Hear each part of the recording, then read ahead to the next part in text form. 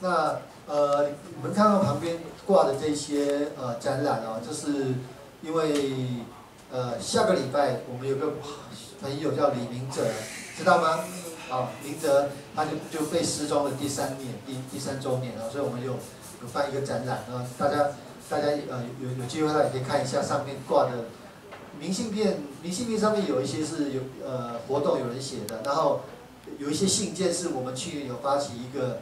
呃，三百六十五天写信给李明哲的运动，每一天都有人写信，好，那我我们有，呃呃，因为三百六十五封所以太多了，我们就挑了一些，啊，呃，展出来给大家看，啊，对，有兴趣的话可以可以看一下，了解一下李明哲。那下礼拜五的折五就是在讲李明哲，这个我们就准时开始我们今天晚上的折五哦，今天。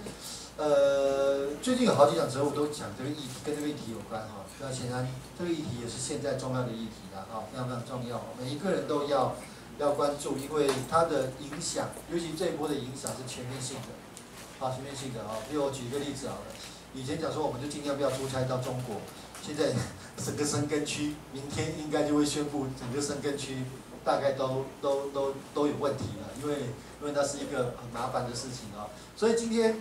瘟疫中的劳动、职务牺牲、安全与补偿，刚好就是，诶，我们现在看到的、听到的、每天想到的，呃，他到底对劳动啊、对劳工、对防疫中的人啊，他到底有有没有什么有没有什么冲击？那显然，呃，冲击很大，和冲击很大啊，尤其是服务业啊，各国都一样啊。那呃呃，今天我们。呃，非非常高兴邀请到呃这个林家和啊，这个借大家的手了哈，他跑大姐哈。林家和老师，我相信如果知道林家和老师的，大家就想说，哎，他这个议题他绝对是，他绝对是专业中的专业啊，这个内行中的内行啊，啊，那但是很多时候我们要很务实的去看待这种突发性的、不可预期的，啊，好像很难以规规则于。任何一方的这种事情，因为大概的确没有人想要，没有想要大大流行嘛，啊，流行病学。我我我我个人，我个人这个呃这个是学工会的啊，呃看到看到这些这些大流行的这个情形，我想说哇，那那下一场大流行是什么时候？我们大家讲说，那我我们大概只能够只能够在有限的知识里面讲说预防。我们譬如说经过今天的讨论，或经过很多的讨论。在下一次大流行的时候，我们要怎么样来，呃，避免它的冲击，避免它的影响降到最低？那我们就现在就请，呃，嘉阳老师来跟大家，呃，一起来，呃，讨论这个议题。好。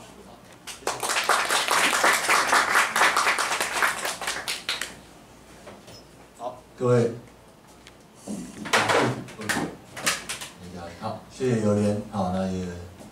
呃，感谢各位朋友，我有一点意外，今天人有点多，啊，因为我本来想说在非常时期，应该大家特别愿意出门，冒了这个风险，啊的机会不是很高，啊，那不过还是很开心看到这么多，我已经数不太清楚我第几次来参加折舞了，啊，每次讲的意义都不太一样，我来讲过体育界的事情，来讲过运动改革。好，我来讲过公民投票。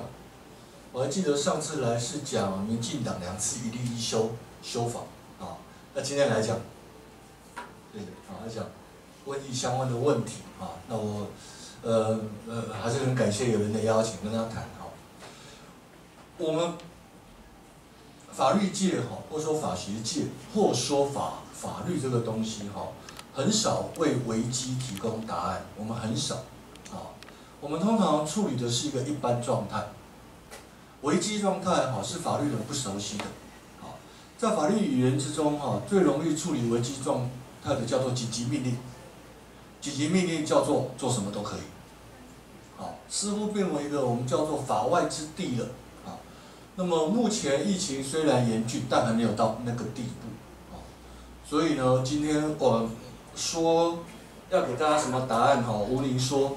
我希望用一个小时的时间，好左右的时间，来跟大家谈谈，在瘟疫之中，如果聚焦于劳动者的话，好，我看到哪几个问题，跟大家一起分享，好不好？好，呃，有些真的没有答案，哦，很多问题没有，有一些在我们法律上哈不是完全找不到基础，哈，法律虽然不太能够因应真正的危机，但它对于特殊状况不是毫无准备，好，不是毫无准备，所以呢，我希望用这个角度来跟大家谈谈啊这个问题，好不好？好，然后我就开始。好，那么首先哈。首先啊，唯一全球化的就是灾难，啊，灾难是全球化。那么呃，好，谢谢。那我我应该我来接。那么呃，我们今天啊叫做个风险社会时代啊，德国社会学家啊 Ulrich Beck 在一九八零年提出这个风险社会哈，未来真正的全球化哦不会是金融，不会是甚至企业。跨国企业哦，就算不同，它也不会真正全球化。真正全球化的，乌里贝克三十年前就讲的是灾难，灾难会真正全球化啊。那么财富是不平等的，瘟疫是民主的，这是他的名言哦。不管贩夫走卒，不分阶级阶层，任何人都逃不过瘟疫啊。当然不一定，但是呢，乌里贝的这个呃风险理论告诉我们哈。其实风险社会有几个特征，这个特征跟我们待会要谈的主题有点关联啊。先让我一开始做一个简单的铺陈了哈，就说当代的风险是是无人能够逃避的啊，所以呢，众人呢会形成风险共同体，这叫做哈来自恐惧的团结啊。法国社会，法国不敢不知道该怎么提醒他了。妇科曾经说哈，妇科说主权总会来自于哈充满着恐惧的。底层人民啊，底层人民不会基于道德，不会基于民主，也许会基于金钱，但很困难。最大的会让大家团结的是恐惧，好，而今天的恐惧呢，历史上有名的恐惧，要不是战争，要不就是瘟疫了，啊，瘟疫了。所以今天啊，风险社会的这个脉络之下，我们今天面对的瘟疫问题，来自恐惧的团结啊，那让我们成为一个命运。共同体风险共同体，而这个风险共同体会不会带来，例如某些人要为大家牺牲，某些人就该哦限制他的某些权利，哦大家都听过，大家都听过所谓的哲学，哦这种呃道德哲学，康德式的道德哲学最有名的悖论，悖论就是我到底有没有权利杀三个人以救五个人，对不对？哦在这个呃。美国九一一恐怖攻击之后，哈，美国通过爱国者法案，哈，Patriot Act，于是压迫各国，美国用政治压力压迫各国都要通过类似美国爱国者法案的法律，哈，其中有个非常重要的的规定，在欧陆各国引起极激烈的辩论，就是民航机如果有从事恐怖攻击的嫌疑，可不可以立刻击落它？只要有嫌疑就可以，我。杀死了几百个乘客的性命，交换免受恐怖攻击。好，那德国最后在没有办法抵挡美国的压力之下，通过了民用航空法的修法。啊，任何民航机只要有被挟持从事恐怖攻击之嫌疑，即可将之击落，这是个合法行为。啊，没想到被德国联邦宪法法院宣告违宪，宣告违宪，表示哈，即便是面临一个极大的恐怖的风险，例如恐恐攻。啊，仍然不得以牺牲个人的权利交换大多数人的安全。我们今天叫做安全国时代，安全国家。啊，各国哦，某个程度警察力量远比过去来的更重要。重点不在于什么治安，重点在于安全。Security 变成今天哈，所有人在各国都变为一个最关键的名词。为了安全，国家做什么都可以。好，包括瘟疫。对不对？好那快速的个人化发展哈，也会跟我们今天主题有一些关联了哈。那昔日的政治中心议会渐次失去主导地位啊，所以让我们委员坐在第一排有点不好意思说，今天哈各国的政治走向就是国会越来越不重要。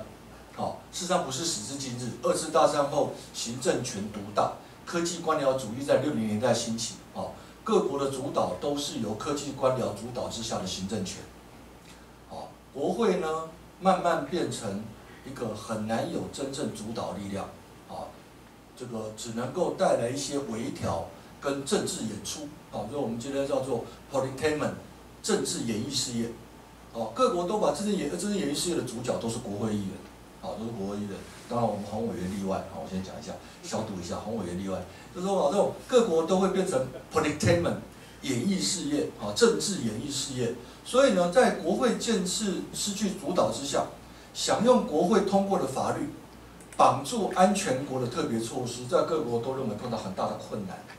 啊，这跟我们调查总局是有关联的，因为为了要安全，为了要达到最快速、最有效率的应用，我们被迫必须交给行政权，我们不可能交给国会，好，不可能交给国会，而国会有它符合我们今天所谈的法治社会所必要的元素，充分的沟通，尊重多数，但保护少数，好，种种的利益，呃，这个呃考量，对不对？然后用一个法治上最完整，很抱歉。风险社会没办法用这样来处理，风险社会哈难以避免，必须极度仰赖行政权，行政权才有效率去加以处理。好，那风险社会这三个特征都跟我们今天谈的主题有某一些关联。好，在今天，呃，我在学校除了劳动法以外，我也教国家理论跟宪法学了。哈，国家理论都说，今天的国家时代，九零年代我们叫竞争国时代，全球化的影响，国家的正当性取决于。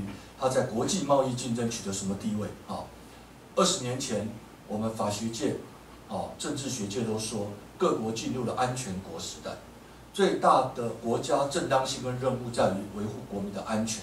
哦，最重要、最有名的例子就是抵御恐怖攻击，另外一个例子就是抵御环境灾难，另外一个例子就是抵御瘟疫，哦，瘟疫这种，哦这种类似的灾难，哦，所以其实这些都是有迹可循的，哦。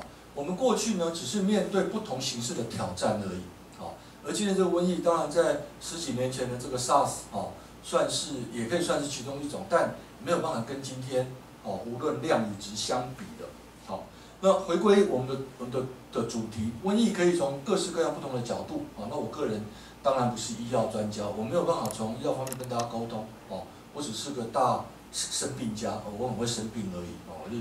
我是血液癌症患者，所以我对医院有很丰富的第一线观察，躺在病床上的观察。我我可以跟大家分享这个，但这个毫无意义。哦，瘟疫可以从各式各样不同的角度去讨论，就容许我们今天呃来谈谈劳动者，好，劳动者面临的劳工，这我就最晚讲到九点，好，最最晚到九点以前把它结束，再接着跟大家讨论。好，那么谈到劳动呢？瘟疫之中或瘟疫之下，有几个劳动者的图像。好，这个图像呢，我们可以看出，在这样的一个背景之下，哦，不同类型的劳动者，他面对的风险跟问题是不一样的。哦，首当其冲的一定是直接在第一线，哦，不只是防疫，而是直接处理，例如这个呃所谓染染病的病人的问题，所以医疗院所的劳工，啊，那么之前。曾经有过提议，但我印象没记错的话，这个提议最后没有成真。说卫福部或说中央疫情指挥中心希望考虑禁止医疗院所的清洁工出国，清洁工出国，哦，好像有这个提议。最早是是谈到哦，医护已经到了清洁工了，哦，清洁工是否为医疗体系运作绝对不能欠缺的的人员？我们先把这个问题摆在一旁，好，也许有人认为是。也许有人认为，呃，即便没有清洁工，那么，那么整个医疗体系运作并不会真正的这个失去它的功能啊，这个是一个辩论的问题。但医疗院所的劳工是我们大概说最明显受到波及的啊。第二是防疫机关的人员，我们卫福部啊，那么呃这个 CRC 呃这个呃疾病管制局啊疾管局。再加上中央疫情指挥中心相关的人等，我们把它归类为防疫机关人员啊，他们的确非常辛苦，几乎不眠不休的，就算休息回家，随时要被硬召唤回来。好，我在呃正大有一个指导学生，他就是疾管局的防疫医师，他今天本来要来这边跟我相见，我们已经很久没有相见了哈，那他刚刚跟我说，他又被叫回去，又被叫回去，所以防疫机关人员啊。也许不是我们想象的可能够有很大风险的感染的那种人，可是他在整个防疫的行动之中非常重要，好，非常重要。第三当然是物资周边人员，最重要就是生产口罩，好，例如在我们谈的例子，生产口罩的工作人员到底可不可以由政府命令他停止七休一？没有例假日了，哦，连续工作超过七天的，到底法律依据何在？如果有这个必要的，我们先说如果有这个必要，如果有这个必要，哦，如果在医学防疫考量上，口罩必须不停的生产，以符合需求，我们先假设这个是没有问题的。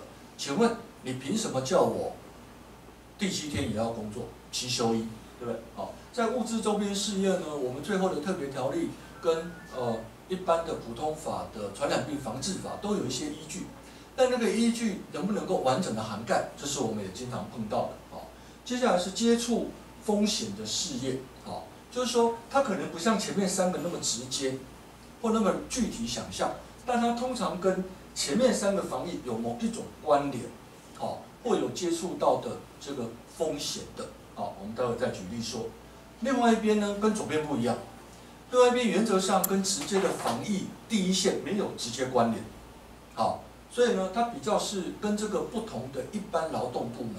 第一个当然是受冲击事业，好，那么政府大概已经这个呃，我还记得 SARS 的时候哈，我孩子年纪很小，那时候是我第一次去日本北海道去玩，因为我孩子的旅费团费是新台币一元，我印象非常深刻。我儿子去北海道玩，团费只有新台币一块钱，因为旅游业受到的冲击很大，好，所以你可以发现，在这一波已经慢慢的哈，可能还要扩大或延续一段期间，有几波呃有几个是最明显受冲击产业，例如旅游业、餐饮等等，好，那进一步的会越来越多的延伸，例如会进一步延伸到，比方说跟中国或跟某一些关键地区，好。构成一个呃，构成一个生产链、价值链、供应链的不同端点。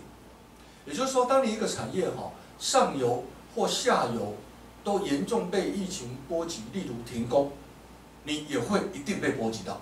好，那特别在我们今天全球化时代，所谓供应链时代哈，supply chain 或 value chain 的时代，你只要被纳入国际资本分工体系，你就很容易。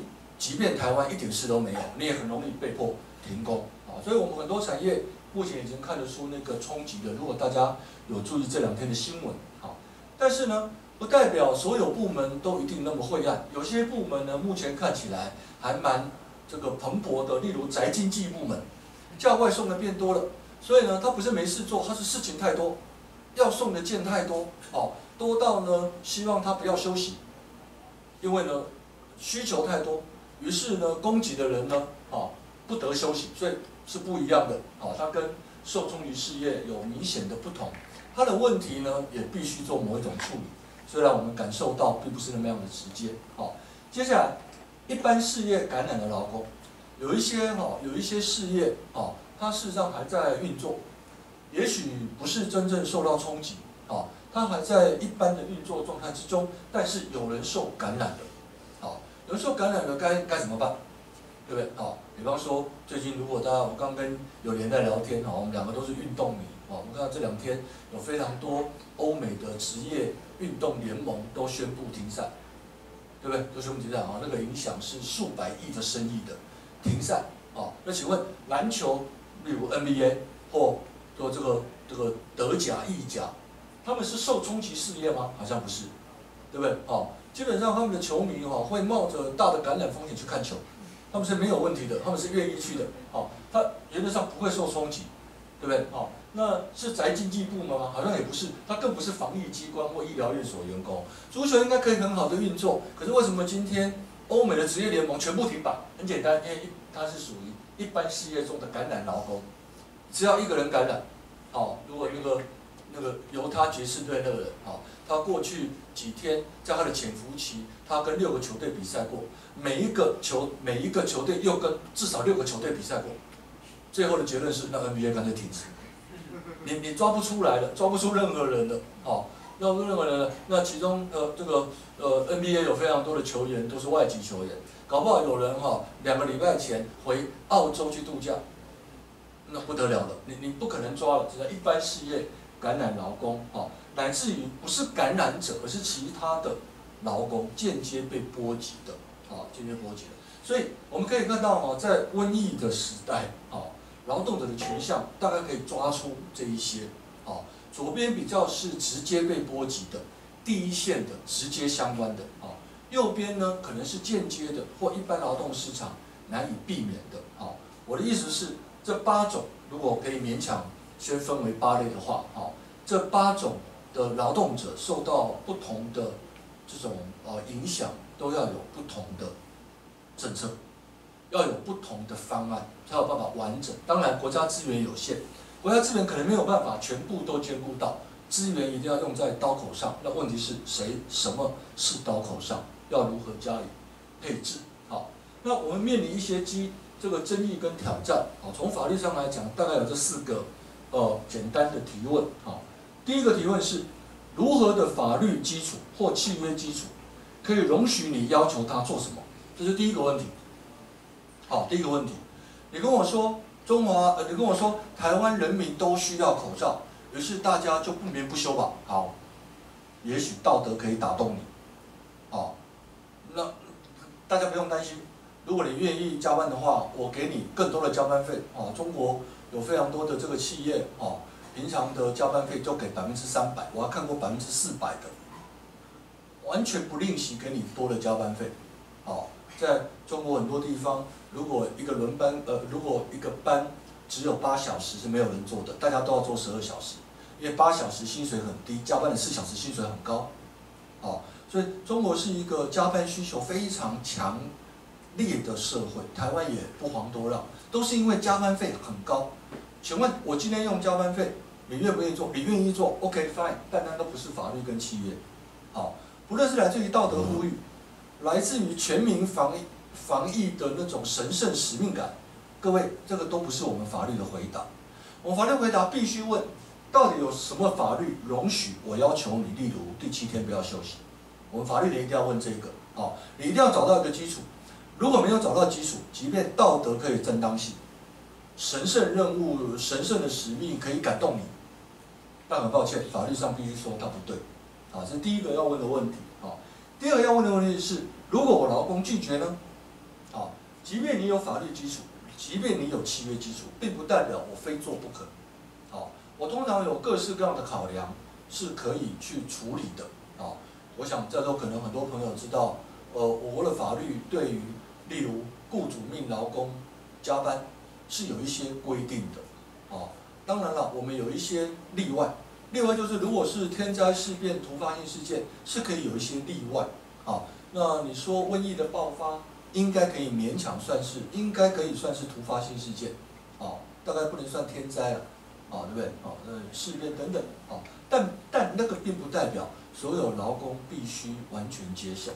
所以我们会思考的第二个问题是，如何的要件之下，劳工可以拒绝工作？好。而不受到不利益待遇，当然你可以拒绝工作，啊，那你就呃，你说我拒绝，老板说好，那你不用来了，呃，我指的是永远不用来了，那那没有人敢拒绝的，所以这个所谓的拒绝一定要带来一些很重要的，就是不受不利益待遇，啊，那有时候这个拒绝是因为我判断现场有风险，我判断现场有某一种，例如有很大几率受感染的风险，好。那这个我们待会会特别有一个段落来提这个问题啊，我待会会回答这四个问题了哈。第三，不同程度哈直接间接影响波及的劳工，如何认定它构成牺牲？好，我们法律上对于好对于呃所谓的牺牲分为一般跟特别牺牲。一般牺牲指的是一般法律的限制，啊，比方说坡度在多少角度以上的。山坡地不准盖房屋，这叫一般牺牲。一般牺牲，国家不必给你任何补偿，不必。国家说这个水源地不可以建筑，不可以养猪。啊，我们台湾这个，特别是在呃，例如最有名的事件是在翡翠水库的北势溪沿岸，当时很多人养猪，很多人很多这个养猪户，养猪户为了我们为了要保护翡翠水库的水源地，要把养猪户赶走。请问要不要给补偿？不用，我们一般叫一般牺牲。特别牺牲不是，特别牺牲表示哈，一般而言，基于法律，你有完全的自由，但是今天来自一个特别的目的，很抱歉，我要叫你牺牲，好，我一般叫特别牺牲。特别牺牲最常见的情况就是我征收你家的土地，以便例如盖公园，啊，这个最典型的例子，这叫特别牺牲。啊，那碰到法律，碰到今天这个问题，我们就要问：什么情况的劳工法律上叫做特别牺牲？只要叫特别牺牲，国家一定要给你某一种补偿。如果没有，我们就认为国家违宪。好，那这是第三个问题，什么样可以认定牺牲？好，第四个就比较呃是比较简单回答，也比较是属于政治而非法律问题了。啊，为了要稳定产业及劳动市场，政府该提供如何的辅助措施？某个程度哈，那个不是自由的问题，比较是政府要积极提供。辅助的问题，啊，这角度会不一样。我们大概从这四个角度来跟各位做一些分享。啊，那当然了，呃，谈到我们从第一个问题开始了，哈，从第一、第二问题开始，谈到谈到到底劳动者，哈，面对在这个瘟疫之下，包括刚刚讲的不同类型，啊，那么雇主或政府命令他做什么？请问我们要如何处理？啊，我的几个关键是是职业关系、义务与伦理。每一个每一个领域都有它的伦理，但伦理不一定等于法律。啊，有时候违背伦理并没有违背法律，只是不合适这样做而已。啊，那每个领域都有每个领域特殊的伦理，例如医学界有医学伦理，啊，各式各样的都有。所以呢，伦理规则有时候比较比较难说，啊，比较难说。啊，那个每一位医师都有诊治摆到你面前病人。生命，啊，健康的义务。好，那请问今天医生基于某种理由可不可以离开？我说是可以的，哦，并不是完全不行的，哦。我经常我经常讲这个工作时间的保护了，哈，就说我我们好像通常是想象，例如医师的很多，例如在开刀的执行职务，时间是不能中断的，其实未必的，哦，其实不需要这样的。我还记得我太太哈。我太太在德国生孩子的时候啊，那那个因为因为因为我我儿子头很大，就一直生不出来，生不出来哈，那个医生就一直努力，满头大汗也生不出来，哦，那那个医生，我记得到第七个小时，突然动作停了，动作停下来了，擦擦自己的汗，然后呢跟我握手，说哈林先生很高兴替你服务，跟我太太握手，那我太太吓一跳，我太太跟他握手，那很高兴为你服务，他说我。工作时间到，我要下班了，他他就走出去了，然后我们两个就就傻眼了，奇怪，怎么医生走出去了哈？后来过了三分钟，又有一个医师一边进来一边穿白袍，啊，先跟我说：“李先生你好，我我很高兴替你服务。”呃，李太太你好，我我换我上班了。我太太说：“哦，谢谢。”啊，那医生说：“我们现在开始吧。”啊，那我太太就又开始叫了这样，又开始叫了。然后这个医师又努力了五个钟头，还是没有办法，啊，又是满头大汗，又出现一个人了。那个人哦，就虽然用德文骂，但是我听得懂。那个德文骂说：“你们到底在搞什么？搞这么久还没生出来？”然后就一边看那些一边骂他，骂他说：“这种肚子大哈，就要从肚子旁边哈，用手肘用个角度压就出来。你怎么那么笨啊？”就一直骂他。那个医生进来啊，先跟我们两个打招呼，打完招呼以后呢，就手肘压住我太太肚子，一个叫咚，孩子就出来了。所以呢，这个哈，呃，这个。这个我刚刚讲的这段小故事给我们几个启示。第一个启示还是头不能太大啊，这个这个不重要。我要讲的意思是，医师不可以有下班时间吗？即便是在例如接生的这么重要，是可以的，并不是完全不能想象，对不对？好，所以呢，有时候哈，伦理跟法律跟契约义务这三个是不一样的内涵啊，不一样的内涵。我要谈谈这个角度的问题啊。今天我们看到很多呃的不同的劳动者哈，有些是公务员，有些不是。哦，有些并不是的，例如我们刚刚讲的防疫机关，或是呢公立医院的医疗院所，哈，很多是有公务人员身份的医护人员，就叫公务员，对不对？好，那有些呃民营企业大概不会有公务员，那很多公公务机关或很多公营事业也有很多劳动者，他不是公务员身份，他是劳工身份。好，所以第一个我们就要问了，啊，问的是你的义务何在了？那么，在一个契约范围，当然，我我们是属于非常紧急事故啊。我除非了哈，除非你的职称就叫防疫医师，我雇佣你的目的就是为了要防疫，除非是这样，否则我们必须说，瘟疫的处理一般来讲算是特别的义务，不是一般的义务。哦，请问哈，老板可不可以指示员工做不是契约范围内的特殊义务？答案是可以，但只限于例外，只限于紧急。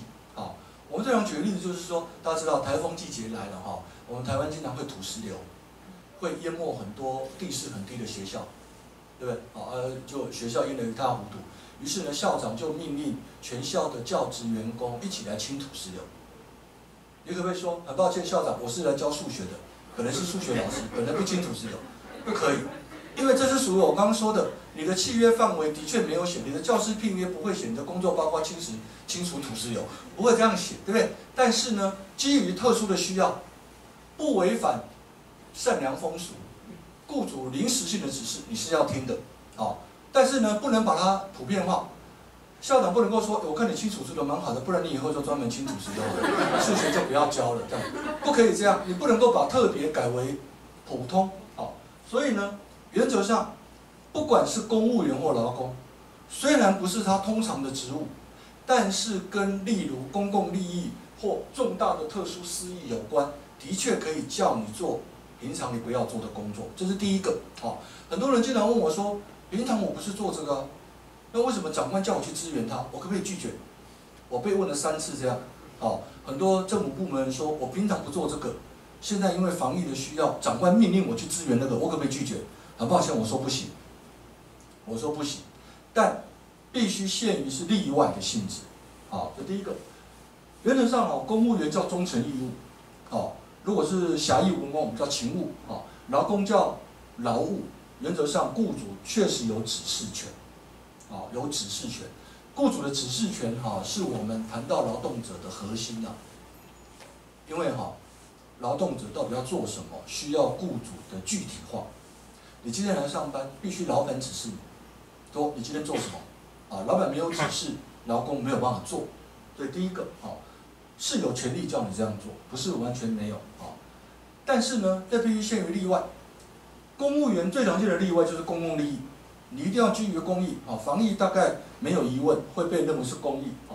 劳动者来讲呢，通常是私益，但这个私益哈必须是非常特殊的，例如我国劳基法规定，天灾事变突发事件，这是典型的例外，对不对哈？你不能够说哇那个客人好多哦，哦我们呢不忍心让客人失望，我们营业到十点，不能今天营呃呃营业到十二点吧，这不可以啊。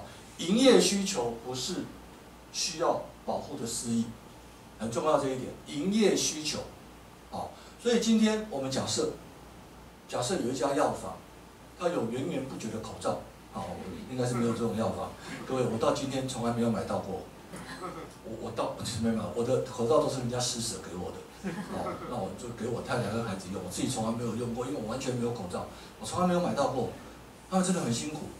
如果有一家源源不绝的药房，口罩源源不绝，说外面那么多人排队，我不能让大家失望，大家不要下班了，哦，我们继续工作两天两夜，三天三夜，对不对？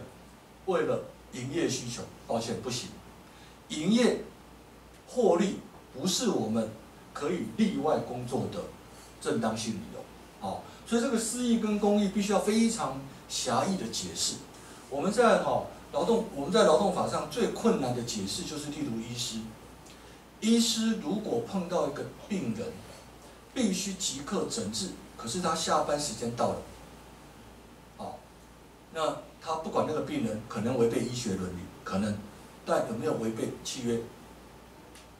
一个人有没有为了他人的安全，必须牺牲自己下班时间的义务？这个问题不好回答。哦，这个问题会不好回答。他可能违背伦理，这个没有问题。哦，重大违背伦理，有可能构成违反契约。但是，在这个情况会不会？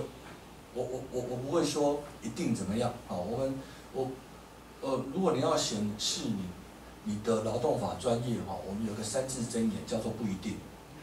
任何人问你问题，你都回答不一定，就会显得你很专业。你不要回答，你不要回答一个答案啊？请问啊，那个医师碰到病人送他面前，他下班了。请问哈，他不管他有没有有没有有没有违法，有没有违反契约？各位专业者如何回答？不一定啊，大家写我一定回答不一定。我会先假设要件，再提原则，再提例外，再提例外的例外。好，至于你要哪个答案，请你自己决定。这样子好，因为法律本来就设想各种不同的状况。好，在劳工方面呢，哦，嗯，至少我们劳动基准法乃至于我们私劳动法，哦，做了非常多权利义务的规范，相对好遵循的。我刚刚不断举的例子，七休一的例假日，在天灾事变、突发事事件的话，才能例外。换言之，不是这三种情况就不能例外。劳工不能连续工作七天，第六天晚一定要结束，对不对？很清楚。很抱歉，公务员没有这些规定。好，我国公务员服务法只有非常简单的一个条文。好，那在周休二日，公务员公务人员周休二日实施办法也只有一个模糊到不行的条文，所以才会出现上个月、上上个月大法官做出的七百八十五号解释。好，大法官七八五号解释主要是针对高雄市消防局。大家知道哈，我国这种消防员的工作时间几乎是全球最高的。哦，我们很多。不只是勤一休一，我们还有勤二休一的，连做四十八小时才休息的。哦，英国是勤一休二，我们是勤二休一，你看差多少？啊，那个差别非常大。好，那我们谈的问题更复杂，因为我们的消防外勤全部在地方政府，我们中央是没有消防外勤的。啊，警察大部分在地方政府，但警察有中央外勤警察，就是警政署的保安警察，对不对？消防全部在地方，地方财政差很多。所以呢，财政差的消防员就会特别累，因为他财政差，好，那呃等等因素，所以你会发现哦，我们公民这个问题更难回答。好，我我我被一个媒体记者问到说，公务员得否拒绝怎样怎样？那我回答了他的答案，我回答了，然后呢，记者问我说，哎，老师，请问是在哪一法哪一条？很抱歉，没有，哦，没有，没有任何条文规定这一个，好，所以麻烦的在于哦。我国的公务人员在这个问题上缺少完整的权利义务规范。好，简单的讲啊，我国的公务人员，包括公务员跟公部门的其他公务人员，例如约聘雇，没有劳动法。结论就是这样啊。好，例如工作时间，那么德国有个法律叫工作时间法，里面规定公务员四部门通通适用。再开放某种例外，说如果你的工作是跟监所安全有关的。也就是说，监狱的戒护，对不对？或是医疗院所有关的，请在根据工时法的某一些规定，做一个法规命令具体化到，有人家是几层下来，好，第一层是法律，第二层是授权你定命令，例如特别针对监所戒护，针对医生，针对飞航机组员，针对消防这样子。第二层，好，第三层再让劳劳方的组织，例如工会跟资方协商，例如团体协约。第四层再协商工作规则，人家是四层，我们台湾是零层，我们台湾比较干脆，我们台湾是零层，完全没有，连第一层也没有。好，第一层也没有，而第一层没有哈，会带来一个奇怪的结果，也不奇怪，叫做无法无天。好的长官对你很好，坏的长官就随便他了啊。以前我们呃在卫福部前身的卫生署，卫生署副署长有一次在立法院，啊，卫生署都有两个副署长，一个一定是医生出身的啊。那一位医师出师出身的副署长，有一次在立法院哈回答立委质询，啊，他说了一句名言，他说哈，我国的医师一个礼拜工作一百六十八个小时也没有违法。各位，一天二十四小时，一个礼拜七天，一个礼拜只有一百六十八小时。我们副署长直接在立法就回答立委说：“那边够了，一个礼拜做一六八也没有违法，好不好再说？很抱歉，但没有违法，这就是我国的现况。我国的现况就是公务员几乎没有完整的规范。也许他的待遇不错，也许大家很羡慕他铁饭碗，但很抱歉，只要涉及到我们今天谈的问题，他是没有法律规范的，才会有大法官七八五的出现。好。那大法官七八五号解释呢，给了我们政府三年的时间，三年，那我们就等着看，三年后我们三年内我们有没有办法建构我们台湾公务人员的劳动法啊？这是立法院啊，委员在这边啊，通常委员很少会听我讲的啊，我我我每次去哈，只要有长官在，我们很难请到林家和的，很难得，大家一定要注意听好吗？大家一定要留下好好听好，那老师抱歉，我我还有其他事情，我先走。我从来没有碰过长官坐下来听我讲的，每个人都说很难得啊，抱歉，我有事先走。啊，所以这个立法国会哈要负担起任务啊，因为哦我们的政府机关非常抗拒，非常抗拒。建构整个公务员相关的的劳动法了，啊，私劳动法没有办法照搬到公部门来，我们缺少了这一块，这是今天一切问题的根源。所以呢，例如公务员有没有给付拒绝权？公务员在某些情况可不可以有退避权？好，我们的职业安全卫生法，哦，以前的劳安员卫生法改称为职业安全卫生法，适用于所有劳动者，包括公务员哦，对不对？好，可是退避权明文排除。简单的说，我们公务员没有退避权。公务员如果在执行职务碰到危险，他是不可以离开的，不可以离开的，对不对？所以我打个问号。劳工相对没有问题。好，那么公务员呢？对于呃公务员呢，被他的机关有更严重的惩戒权，啊，有更麻烦的身份保障。你如果被剥夺公务员身份，你到中华民国任何一个机关都不能当公务员。你被一个雇主开除，你还可以到其他地方上班。所以哈，我特别加了一个叫做公务员身份保障。如果公务员的身份哦，不管有没有被例如监察院弹劾，你被公务员惩戒委员会以司法判决的形式做出了惩戒，比方说就剥夺你的公务员身份，很抱歉，你就不能在任何地方再担任标准的身份保障，对不对？好，所以呢，你可以发现。我们今天在看到不同的劳动者的时候，哈，有可能有不同身份，不同身份带来的影响不一样，哦，不一样。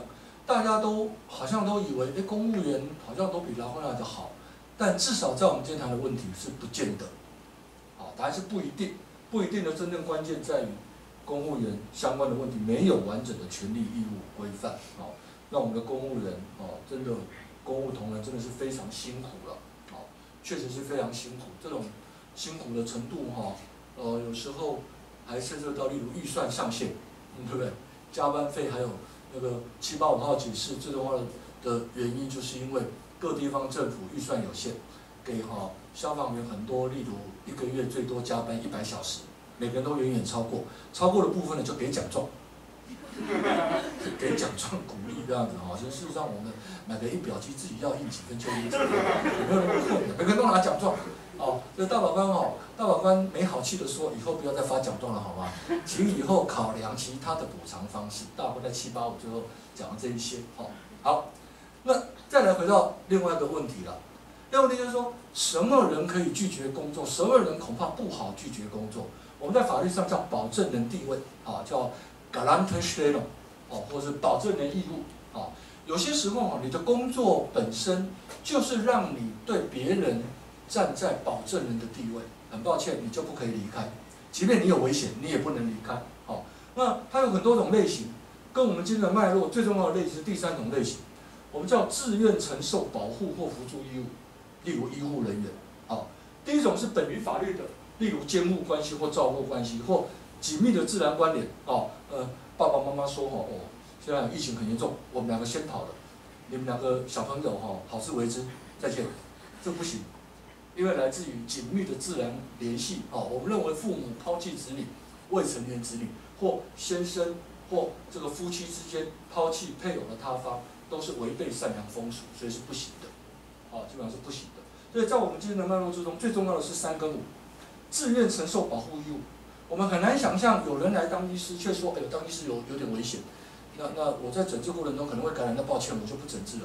我们很难想象这样，好，所以医护在执行过程之中，在合理的范围内，我们认为你基于保证人地位，拥有保证人义务，答案就是你不能走，不可以主张危险就走啊。当然，不是没有例外啊，警消也一样啊，在特别职务地位。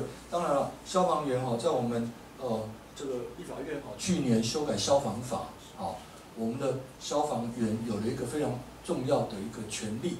虽然没有用出退避权这三个字，但内涵差不多了。好，就是我们消防员如果认消防员如果判断现场，哦，现场已经没有人命需要救援，好，而而现场又不符合一定的要件，例如内部资讯不明，我可以不进去救火，可以不进去啊。这是呃桃园发生几次大火啊，晋鹏大火，那好几个火灾啊，最后悲剧促成的修法。修法就是当不需要救人的时候，消防员面对危险可以拒绝救火，好拒绝救火，这就是我们说的保证人地位的问题啊。那保证人义务呢，还有很多种类型啊。那么有一种类型呢，例如这个呃，例如第三人监督义务，特别是在监狱受刑人或精神病患的介护上啊。我们都知道很多的这个呃嗯，到目前好像只有中国山东某个监狱发生这个呃好。某个监狱发生集体感染，好像好像只有中国哈，但我们很难想象监狱会完全脱离。那监狱脱离了怎么办？我们隔离，我们要隔离。那受刑人说：“别开玩笑，我本来就在隔离啊，你还把我隔离去哪里？对，好 隔离啊，对哦？对哦？说一句，讲一句开玩笑的啊，呃，不是开玩笑，是真的啊。我我我我有个，我有个朋友哦，刚出狱啊，哈，他他就跟我说哈。他说：“嘉禾，我看你很，我看你很，应该未来有机会入狱。”他就跟我说：“我教你一些配博这样子哦，你以后很好用。”哇，大哥感谢，我就马上拿纸笔出来笔记，像那个马英九那样就做笔记这样。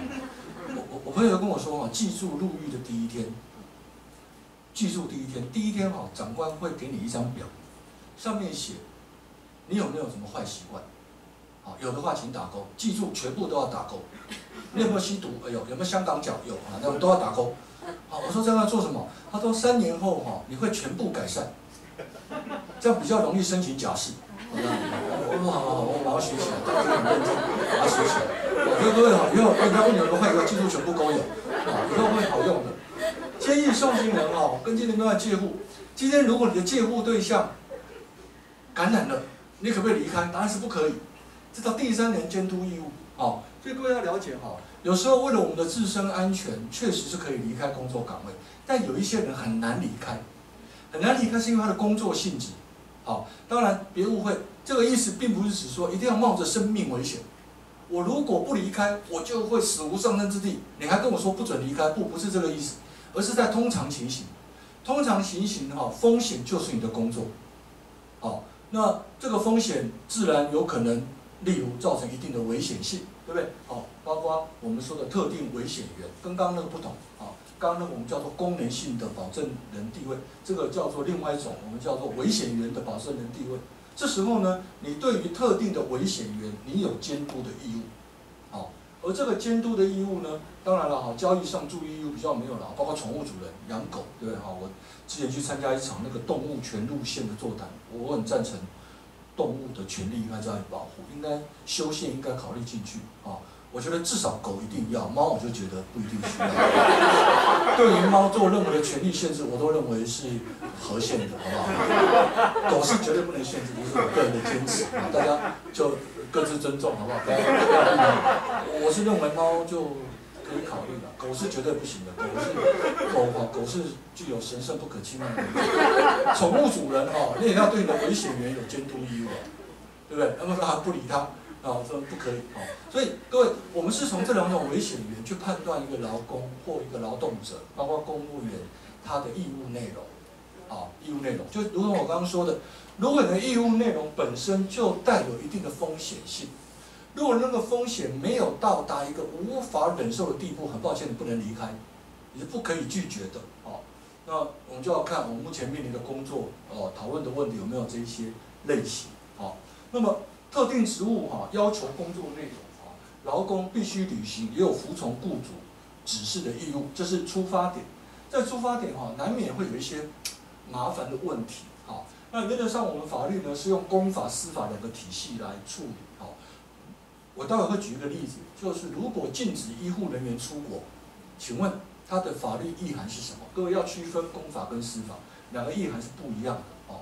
公法上主要是在处理雇主公法上的义务，所以呢，如果不听，会带来某一些行政罚或其他的所谓财罚性不利处分，哦。，SARS 期间哈，当年马英九的台北市政府禁止万华一家旅社营业，标准的雇主公法上义务，对不对？哦，每次哈，我们立法院哈，每年到了台风假、台风天之后，都要来讨论一次台风假到底要不要给薪，到底要不要立法给台风假，已经讨论很多年了，对不对？哈，台风假很简单，台风假只要没有规定禁止营业，保证你做不到台风假。而我国法律有没有禁止台风天营业的呢？有，在银行法里面。下次仔细看，台风天来的时候，什么东西都买得到，银行绝对没有看。下次注意看，好，下次注意看。像我哈，我是住在内湖哈，那个有个美丽华对面这样子哈。那去年哈，那个记者又来问我了，哎，那个台风假怎么办呢？哈，那我我我就把我就好好的跟记者说明啊，说。这个为了大家的生命安全，台风天应该停止工作，啊，应该应该不要冒着生命危险，应该禁止营业啊，停止营业等等，啊。那我在回答记者到一半，我儿子在旁边问说：“爸，待会去哪里吃饭？”我说：“当然是去美丽华吃饭啊，不然去哪里吃饭呢？对不对？哦，我们那个我们那个台风天的时候，当然要去什么唱 KTV 啊，看电影啊，吃美食街啊，对不对？好，台湾人如果像我这样不改这种坏习惯。”你绝对不用再讲台风假了，不必讲。台风假哈，这种天灾在各国唯一的方法就是禁止营业，没有别的方法了。所以哈，立法院哈，在以前，在我们洪委员还没进入立法院以前，都在打假球。每次讲到台风假，最后都是加倍给薪，最后都是如果不来的话，不要把它记过，都是这种问题，都没有提到真正的台风假。真正台风假一定要禁止营业，各位，这都是公法上的义务啊，司法上的义务就不同了。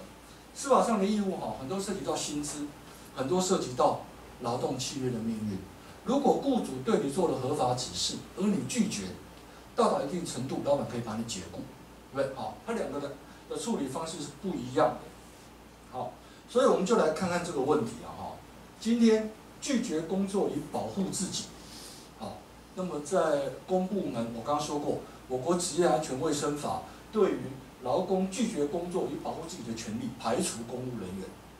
所以，我公务人员哈，目前会非常困难。好，虽然我们的考试院哈有一个呃，有一个我们一般都叫做，我们一般都叫做，对不起，名字我有点忘了。简单讲，就是公务员的呃安全防护办法，有一个办法啊，那个办法规定的非常非常的简略。好，非常非常简略呢，就造成一个难题。那觉得公务员该怎么办啊？如果是一般的劳工，他会有给付拒绝权，他有同时履行抗辩，好，跟我们今天主题比较没有关系，比较有关的是退避权，好，雇主如果违反保护义务，违反保护义务，比方说雇主叫你工作，而那个工作对你有很大的例如感染的风险，你可以拒绝，啊，因为雇主要保护你的义务，你可以拒绝叫同时履行抗辩。如果一开始没事，哦，如果一开始没有事情，或雇主没有违反义务。你工作到一半觉得很危险的，你也可以离开，这叫退避权，好。所以，如果我们今天碰到的瘟疫下的劳动者，哦，比方说，发生过个案子，就是，好像不是在台湾，好像是在中国，发生这个美食外送平台的外送员，好，送到了一家，送到了一个社区，在武汉的时候，送到一个社区是有集体感染风险的，他就可以拒绝。好他事先拒绝叫同时履行抗辩，他到了现场发现有问题，他叫退避权，啊，这两个都是可以行使，啊，那公法上哈，我刚刚说过，我们公法上赋予劳动者有退避权，所以他会转化为契约义务，这个就这个就比较没什么好说的，我们就不说了，哦，那传统上呢，有一些危险源，啊，我们这几年的热门话题是非危险、非传统危险源的人因性侵害，最典型就是急诊室暴力。急诊室暴力，那个呃，我是急诊室的服务人员，今天来了一个急诊病人或他的家属，看起来有暴力威胁，请问我可不可以离开？答案是可以，因为你涉及到了人因性的这个侵害类型，好，所以如果如果哦，如果我们今天碰到了一些呃劳动者，他是碰到有人威胁他，人因性的威胁，也可以拒绝工作，也会没有问题。退避权就是如同我们刚所说的那样，啊，当然了，我们我们政府机关哈，传统上对于对于这种呃，我刚刚说过退避权的想象哈，过度集中于物理性、化学性，过度集中于身体直接的侵害，好，所以呢，如果其他的这个危险就没有考虑到那么多。比方说这一章，我们传统上哈，在适用这种劳工得拒绝工作，想的都是这一些类型，啊，核能啊，化学原料啦，毒毒气啦，啊等等，啊，炸弹啊等等，都是这一些类型，啊，那我们瘟疫呢，病毒呢，对？好，瘟疫与病毒基本上。只要有一定的科学证据，很抱歉，我不是专家，我没办法在这边找出很具体的。只要涉及到例如病菌、啊病毒的一定的程度，确实可以被认为是危险源，这时候你就可以拒绝工作，就没有问题。啊，那我们就要看具体的脉络是什么。那这个在医护，我相信在医护未来如果希望不要，未来如果产生院区医疗院所流行的时候，就会就会。有适用的机会，就会有的啊。当然了，这是个难题了啊。我应不应该照顾别人，照顾到牺牲自己生命在所不惜？好，这个叫做伦理，这个叫做你是南丁格尔在世，这个叫做你是上帝在台湾的代言人，好，这可以。可是很抱歉，这不是法律强求你的。法律上哈，我们没有办法要求类似的伦理或道德，哦。直接转为法律上的义务，并没有如此啊。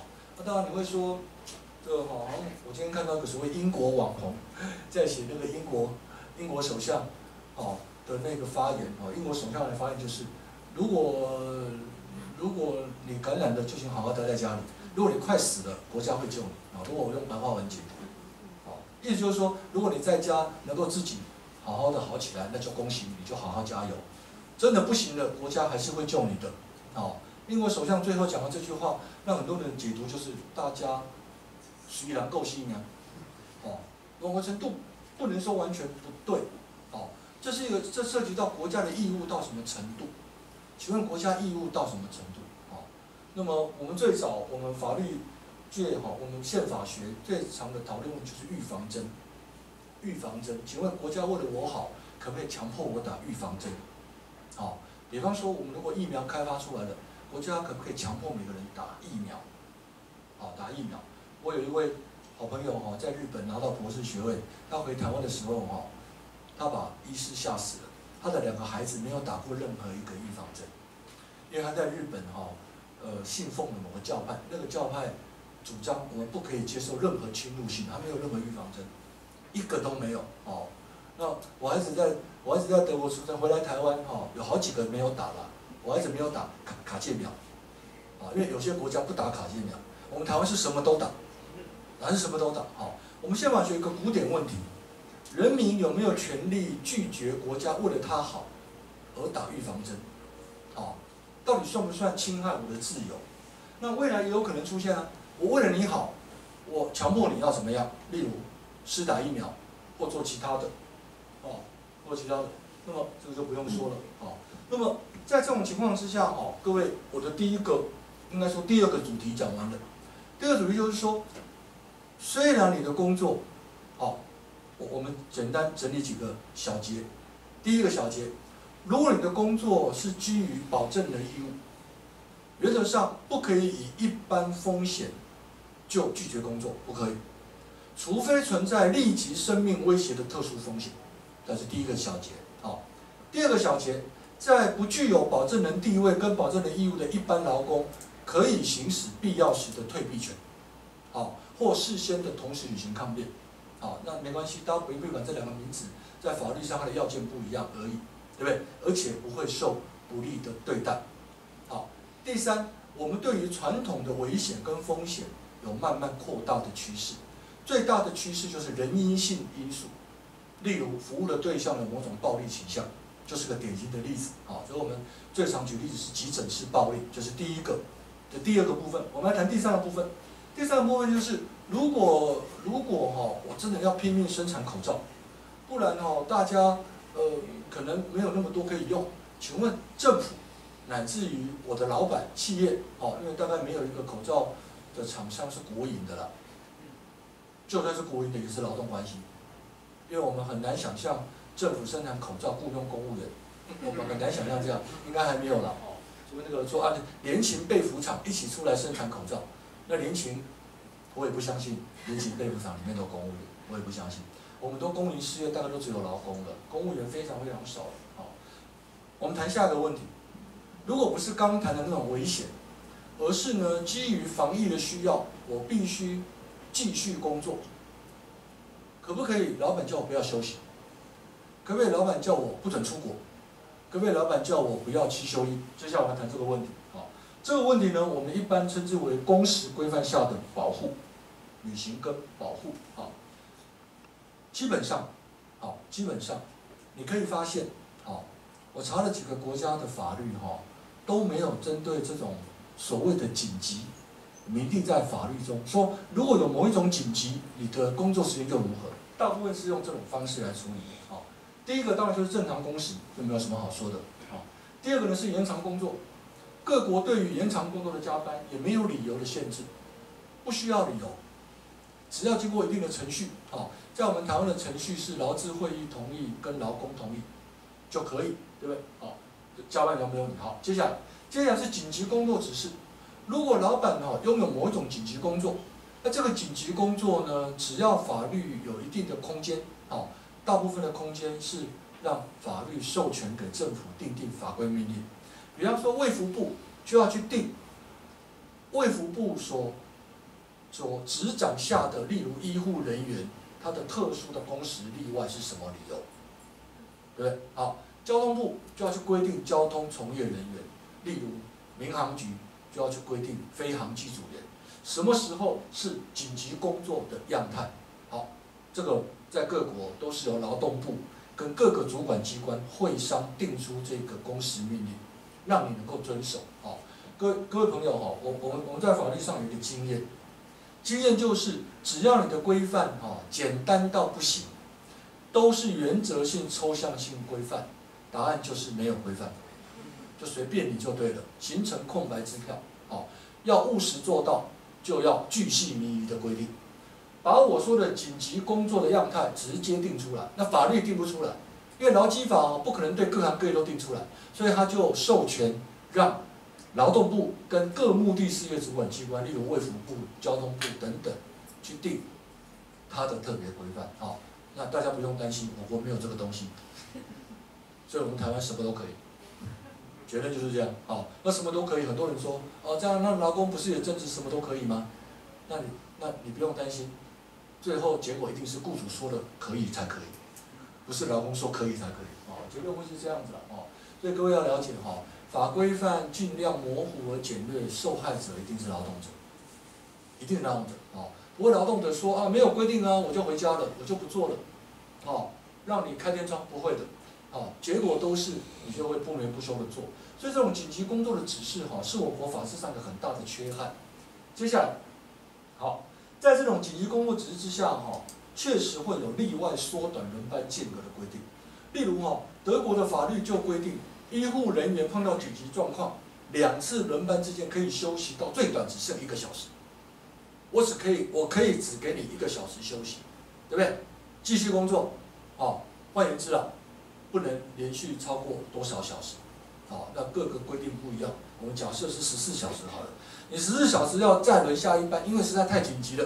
我们台湾在那个八仙乐园叫什么？晨报是吧？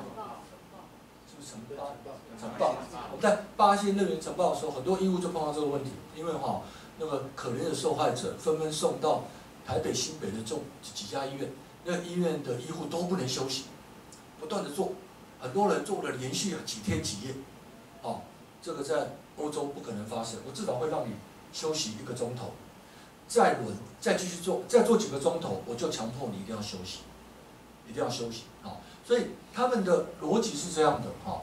两个轮班之间呢，正常是要休息十一小时，十一个小时哈。我国也是十一小时，只是例外可以缩短到八小时，一定要十一小时。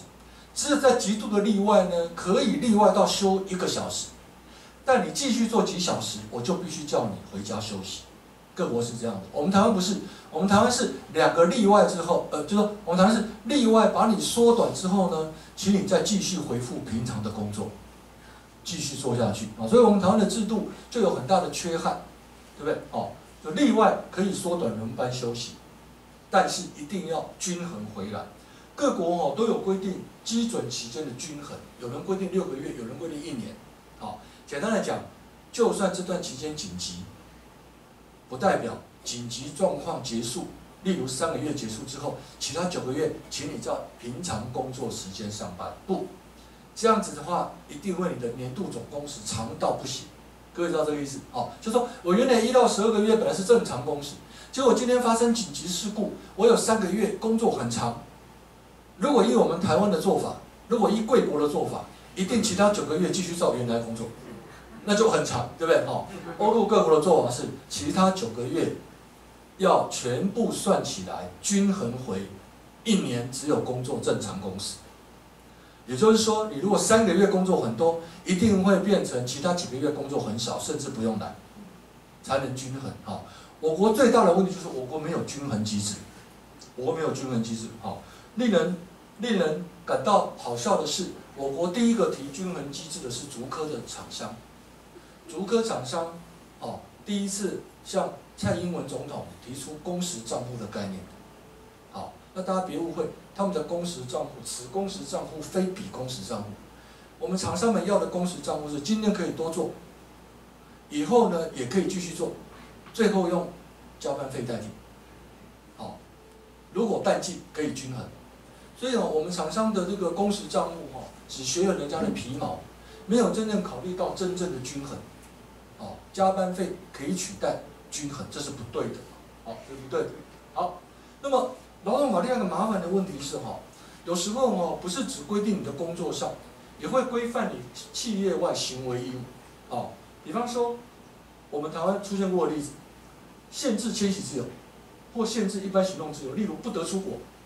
不得前往特定国家或地区，或其他，啊，其他不管是什么，哦，不得去哪里，不得如何，啊，这个呢跟工作无关，但是呢经常会出现，我们一般叫做企业外行为义务，啊，那么原则上，哈，从劳动契约没办法导出有这个义务，说我的私生活的方式必须对雇主有利，一般来讲没有这个义务。没有这个义务哦。比方说，老板说啊，大家辛苦了哦，大家已经最近哈很辛苦，都过劳了哈，那放假两天回去吧，结果呢，有劳工放假两天，打了两天通宵麻将。请问这个有没有违反义务？答案是没有。啊，只要你回来的时候仍然是一尾活龙就没有。只要你回来的时候哦，一副萎靡的样子，那就不一定了，对不对？哦，所以原则上。私生活哈不关雇主的事，所以呢，如果我的私生活是我要出国，我有特休，我要出国，原则上雇主不得限制我，不得出国啊。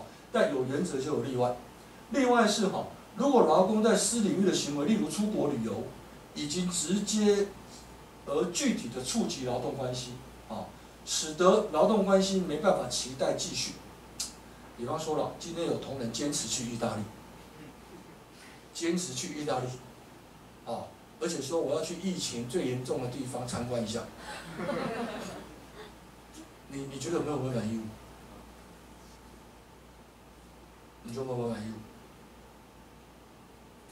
各位觉得，我我们来做一个假投票。有人坚持去意大利，说我回来隔离十四天没问题，这我接受，我接受。但我就是要去意大利，而且我有特休，你不能管我去哪里。认为雇主仍然可以限制他去意大利的举手，没有。我们今天在座都是自由派的，今天非自由派不准进入，对不对？嗯，好。那所以其他朋友都觉得不能限制吗？认为不能限制的举手。我很肯定认为，啊，大部分的朋友啊，这是一个难题。我必须承认哈，这个问题可能没有各位想的那么容易回答。好，如果意大利已经到了某一种程度，某一种程度，好，那么例如客观上没有人相信去感染风险很小，大家都认为去几乎感染风险非常大，原则上雇主是可以不准他去。但有趣的是哈，雇主不准出国，我们刚说过是企业外行为义务，不是工作的问题哦，好，就这是个例外。那如果例外呢是来自于政府命令呢？如果今天政府命令各位哈，政府如果在我们台湾劳动契约上，政府不可以叫个别员工怎么样，不可以，政府只能透过法律要求雇主一定要怎么样，好，例如要雇主提供一定的服务。而雇主呢，被政府命令了，才能转化为司法上命令劳工要怎么样？理论上是这样哦，哦，要不然政府只能采取非常手段。非常手段就是政府明令明令有在卫福部登记为医事人员资格的人，一切限制出境，除非这样，这样就不同了。好，如果是这样，我们要问政府的法律依据是什么？比方说，在我们台湾哦，如果你欠个人综合所得税一百万。你可以根据税捐稽征法授权给财政部定的一个办法，被限制出境，所以它法律上没有问题。虽然大法官做过一号解释，说这个到底有没有违宪呢？哦，那这是这是一个一种可能，对不对？哦，如果真的要限制医师人员出国，它有两种方式，一种方式是我刚刚讲的，透过公法限制有特定身份的人民个人限制出境，这是一种。第二种方式是限制雇主，例如限制医疗院所，说你辖下的医护人员不准出国，但是他们如果真的出国，我政府没办法阻止他，而你自己要处理他，这是两种可能的方式，两种都有可能哦。那我们政府目前似乎没有把这个明确决策化，所以我们不晓得问题何在。好，那什么叫做哈劳工的私生活涉及到呃劳动关系哈？那么在我们这边最有可能的就是二跟三，其他同仁哈很担心你这个家伙去了意大利回来会怎样，对不对？我说你要去意大利，那你现在呢？哦，我现在要去伊朗，那那你儿子呢？我儿子要去大邱看看，其他同仁哦不把你排挤死才怪，这个在法律上我们叫做施压哦。很多时候，哈，雇主对于劳工的处理来自于其他员工的施压。其他员工说：“我白盖到底，我不想跟他在一起。”好，那严重的叫叫施压解雇。大家跟老板说，跟老板摊牌，不把他解雇呢，不是他走就是我们大家走，这叫施压解雇。哈，有时候来自于其他同仁的压力，哈，有时候来自于个人信赖，个人信赖。哦，比方说这个，比方说什么？这例子非常多了。哈，我们一下，我们现在最常出现就是 hate speech。仇恨性言论啊，哦，欧洲有个非常有名的案子，就是奥地利，奥地利有一个劳工哈，大家知道，因为叙利亚内战的关系，哈，呃呃，叙利亚很多难民逃到澳洲去，那很多人死在地中海的这个沿岸，对不对哈？所以呢，欧盟决定让欧洲各国哈分配名额收叙利亚难民，哈，奥地利也被分配了一些，就奥地利有个劳工哈。在网络上就留言，大家知道哈，大家现在看起来都很好，回家就变成键盘魔人了这样，知道他就他就就在这个社群软体上写说，我们应该用喷火枪迎接这些寄生虫，哦，他抵达奥地利就应该用喷火枪把他们烧死，小孩也不要放过，女人也不要放过，啊，这个员工就在网络上这样留言，好，马上被肉搜出来。那如果是啊是在哪里哪里服务的的同仁，请问老板可以把他开除？各位觉得可不可以？哦，再来一次，我们我们再试验一下，今天在座的是不是都自由派？好不好？认为老板可以开除他的举手。你发表这种人神共愤的言论，对不对？我们台大的研究生，对不对？不是把猫的腿折断吗？还是把猫剖腹？对不对？哦，对不对？把狗剖腹，我是绝对不能接受了。再再讨论，当然不行了，抱歉，当然不行。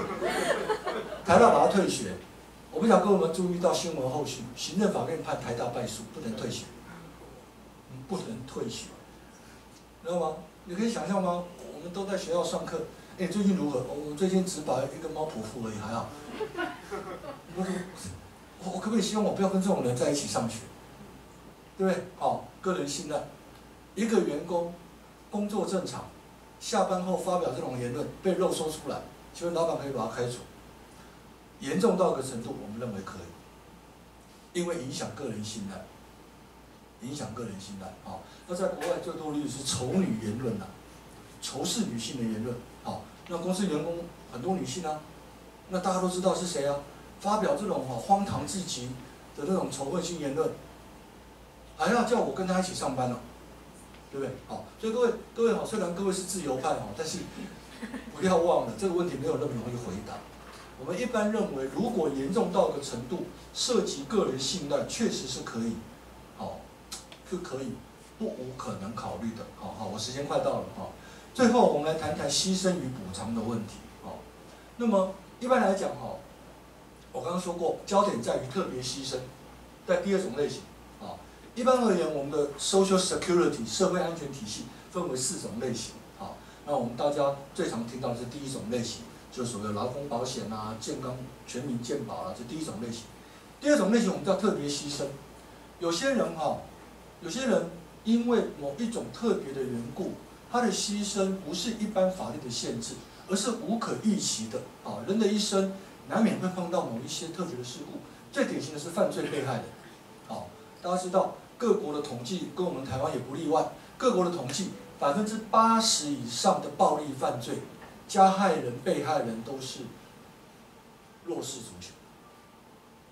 好，弱势族群，就说加害人也好，被害人也好，都是社会的底层。各国都是这样。所以呢，你如果要被害人的赔偿全部交给加害人，很抱歉，答案就是他也拿不到。更何况暴力犯罪的加害人通常在监狱服刑，他也没有能力赔你。他又是弱势家庭，他也没有能力赔你，所以呢，各国都发展出犯罪被害人的补偿，国家先负起责任。所以哈，我们法律界有个讲法，看看这个国家有没有文明，我们就看你这个国家有人被害，哦，国家会不会？伸出援手，各位，美国不会，美国不会，哦，欧洲几个国家会，我们台湾值得骄傲，我们台湾也会，我们台湾是欧洲国家以外极少数有犯罪被害人补偿的国家，哦，表示任何人不幸受害，国家把你视为特别牺牲，会来帮忙你，还有要害救济也是典型的，哦，就注射这个预防针而产生了一些病变，要害救济，哦，合法的警察行为也是啊，哦，所以我们在。法律上哈，今天如果认定有人被特别牺牲，是可以有社会补偿，哦，可是麻烦的就是什么是特别牺牲，如何去认定它，哦，那么什么叫做牺牲情状，哦，什么时候认为国家要负起担保义务，好，我们的的最重要的理由类型，第二种类型我就不说了，其他事由非常多，啊，我就不列举，跟跟我们今天的主题无关，受害人是为了国家。或者社会共同体的利益而遭受特别牺牲，就算牺牲情重。所以，我们今天哦，如果看到有一个人主张他因为防疫的关系，或因为疫苗啊，或呃或因为这个病毒扩散的关系而蒙特别牺牲，我们就要看你是不是为了国家跟社会共同体的利益。如果是，我们就认为算特别牺牲啊。当然了，特别牺牲哦，有一个比较麻烦的问题就是哈。特别牺牲到底需不需要法律依据的？人民有没有主观公权力？没有法律依据，我也可以告法院。哦，到法院告政府，不是告法院的啊，到法院告政府，这是一个难题。我们待会最后谈到特别条例的时候会回顾一下。啊，那么国家作为噪音，哈，会有所不同。啊，我们在分类上会去区分单纯的国家起因，最典型就是战争了。好，预防注射也是。转型正义之下，威权体制被害人，我们的二二八白色恐怖都是基于这个原因，就是国家造成的。好，国家是延续的，即便目前的执政者不是真正的加害人，但国家也要处理，对不对？好，因国家不作为而发生，这个比较少见。啊，为了促进本于公共利益所谓的国家行为，如果今天国家命令你征调你工作，是构成国家噪音型的特别牺牲，啊，所以没有问题啊。所以，只要跟国家征调为防疫所必要，国家就有负起啊，针对这种特别牺牲加以补偿的义务。就算没有法律，国家也有这个义务啊，但有法律会比较好一点，好，会比较好。那因为哈，社会法补偿的特性是通常需要个别法的授权，所以我刚才会说，你去法院告会很难告，会非常难告哦。法院不是资源的分配者，各位，立法者才是资源分配者。哦，六百亿够不够？立法者才能决定，哦，法院不能决定，法院不能够说，呃，本席本法官认为六千亿才够，那你自己去生六千亿出来，立法者才有权利分配资源。所以呢，我们通常认为，刚刚讲到的补偿法需要个别法的特别授权，哦，要不然就要回归一般预算法中的例如特别预算了，不然是这样啊。那这个问题有点马后炮了，因为我国因为定的特别条例，大概就有了啊，之前是没有的，比较令人担心啊。那我们看看特别这个普通法跟特别条例的问题啊，哦，在传染病防治法五十三条第二项确实有规定。各级政府机关得依指挥官之指示，指定或征用公司、医疗机构、公共场所，啊，设立检疫或隔离场所，并得征调，这句话很重要，并得征调相关人员协助防治工作。这个就是我说的，哈，政府可以下一个公法上的命令，啊，一般我们是用一般处分或行政处分的方式来做，啊，必要时这个国军就不说了。下面，对于应指定。征用、征调或接受隔离检疫者所致损失，应给予相当之补偿。换言之啊，我们传染病防治法给了他的一个特别牺牲的法源，啊，所以我们在这方面是台湾是谢天谢地，是这个部分没有问题。好，那在特别条例的部分，在二月二十五号通过的特别条例的部分，哈，有两条跟我们今天谈的比较有关联，啊，一个是公司立医疗，哦，医疗等等这个。呃，防治医疗照护的医师人员及其他人员，应予补贴、补助或发给津贴，也是特别牺牲的概念，也没有问题。好，下一个是我们今天最大的争执所在。中央流行疫情指挥中心指挥官为防治控制疫情需要，得实施必要之应变处置或措施。各位，应变处置或措施，感觉上包山包海，对不对？哦，所以我们内湖的高嘉瑜立委，在立法院。执行苏院长的时候，马上被朱院长洗脸了。苏院长说：“你错了，我们现在做什么事情都有法律依据。因为哈，因为那个高委员好像是问他说：‘哎，你要叫人家不准出国，有没有符合法律保留等等啊？’苏院长马上呵斥他，说：‘委员你错了，我们有法源，法源就是这六个字：应变处置或措施。’好，嗯。”我不能够说苏院长一定不对，但我会说，如果从法律明确性角度来讲，这六个字太过模糊。啊，我们用的是特别条例，特别条例呢，可不可以用法规命令来加以补充呢？应该是可以。啊，所以如果是一个长期抗战，至少是中期抗战，我会建议我们的政府机关，对于应变处置或措施，能够定一些法规命令，至少把类型列出来，会比较好一点。好。而那一个列出类型，我们立法院立委就要负起责任，因为根据立法院职权行使法，哦，政府定的任何法规命令，我们立法院都有三个月的赏味期，我们法律上叫做意志性监督，立法院可以在三个月之内命令政府要改，不准做，如果立法院怠惰三个月，政府就不必。法规命令呢，唯一的控制在立法院，而且只给立法院三个月的时间。好，当然，也许三个月我们疫情就结束了，也许了。好，但是，呃，从一个法律的观点，我真的会觉得这六个字哈，似乎太广泛了。哦，那如果你要说完全符合明确性原则，我会比较担心。哦，比较担心。当然要看具体的作为了。啊，要看具体作为什么？你说一律不准出国。如果说舆论。一一律不准前往我们所列举，而且也有明显证据的疫情爆发地区，我觉得可以。一律不准出国，我觉得很抱歉，很难符合法律保留，哦，很难符合它的必要性的要求，非常难。好，好，就像我刚刚说的，好，如果并得征调相关人员协助防治工作，劳工如果拒绝，到底会怎么办？如果政府征调你了？说你来从协助防治工作，结果劳工拒绝，好，那么在私劳动契约呢会构成例外雇主得为特别，就是我刚刚说的，如果是例外的情况，不管是契约内还是契约外义务，很抱歉，劳工可能不得拒绝，好，但如果发生我们刚刚说的那一些特殊的危险状况，可以行使退避权，可以行使给付拒绝权，好，但最后实施必要之应变措施处置或措施，哈。相对没有传染病防治法来的明确，哦，那也许可以再更激进一点。虽然我知道哈，政府政府应该也不会透过这一些来任意侵犯人权，应该都是为了防御需要。但有没有可能在防疫需要跟保障人员之间达到个平衡？哦，我一向是乐观的，但这样的乐观哈，恐怕没有办法单用这种道德的期待来达成。接下来哈，其他的支持、促进跟辅助，我们就比较简单。有时间到了，我们就比较比较简单带过。哈，那常见的就无疑是纾困、金融支柱。啊，例如这个呃，先不用缴本金，不用缴利息。本金也先还缴等等，对不对？啊，或我们叫雇佣安定措施，特别是针对无薪假，啊，那接下来我相信会有很多产业放无薪假，那那个值雨量绝对比沙子期间要多很多倍。那无薪教在我国法律上有一个处理手段，叫做雇佣安定措施，啊，只是他二零一一年到现在从来没有用过，八年来没有用过，哦，我还记得黄国昌。委员哦，昌神，我们怀念他，老，先叫昌神。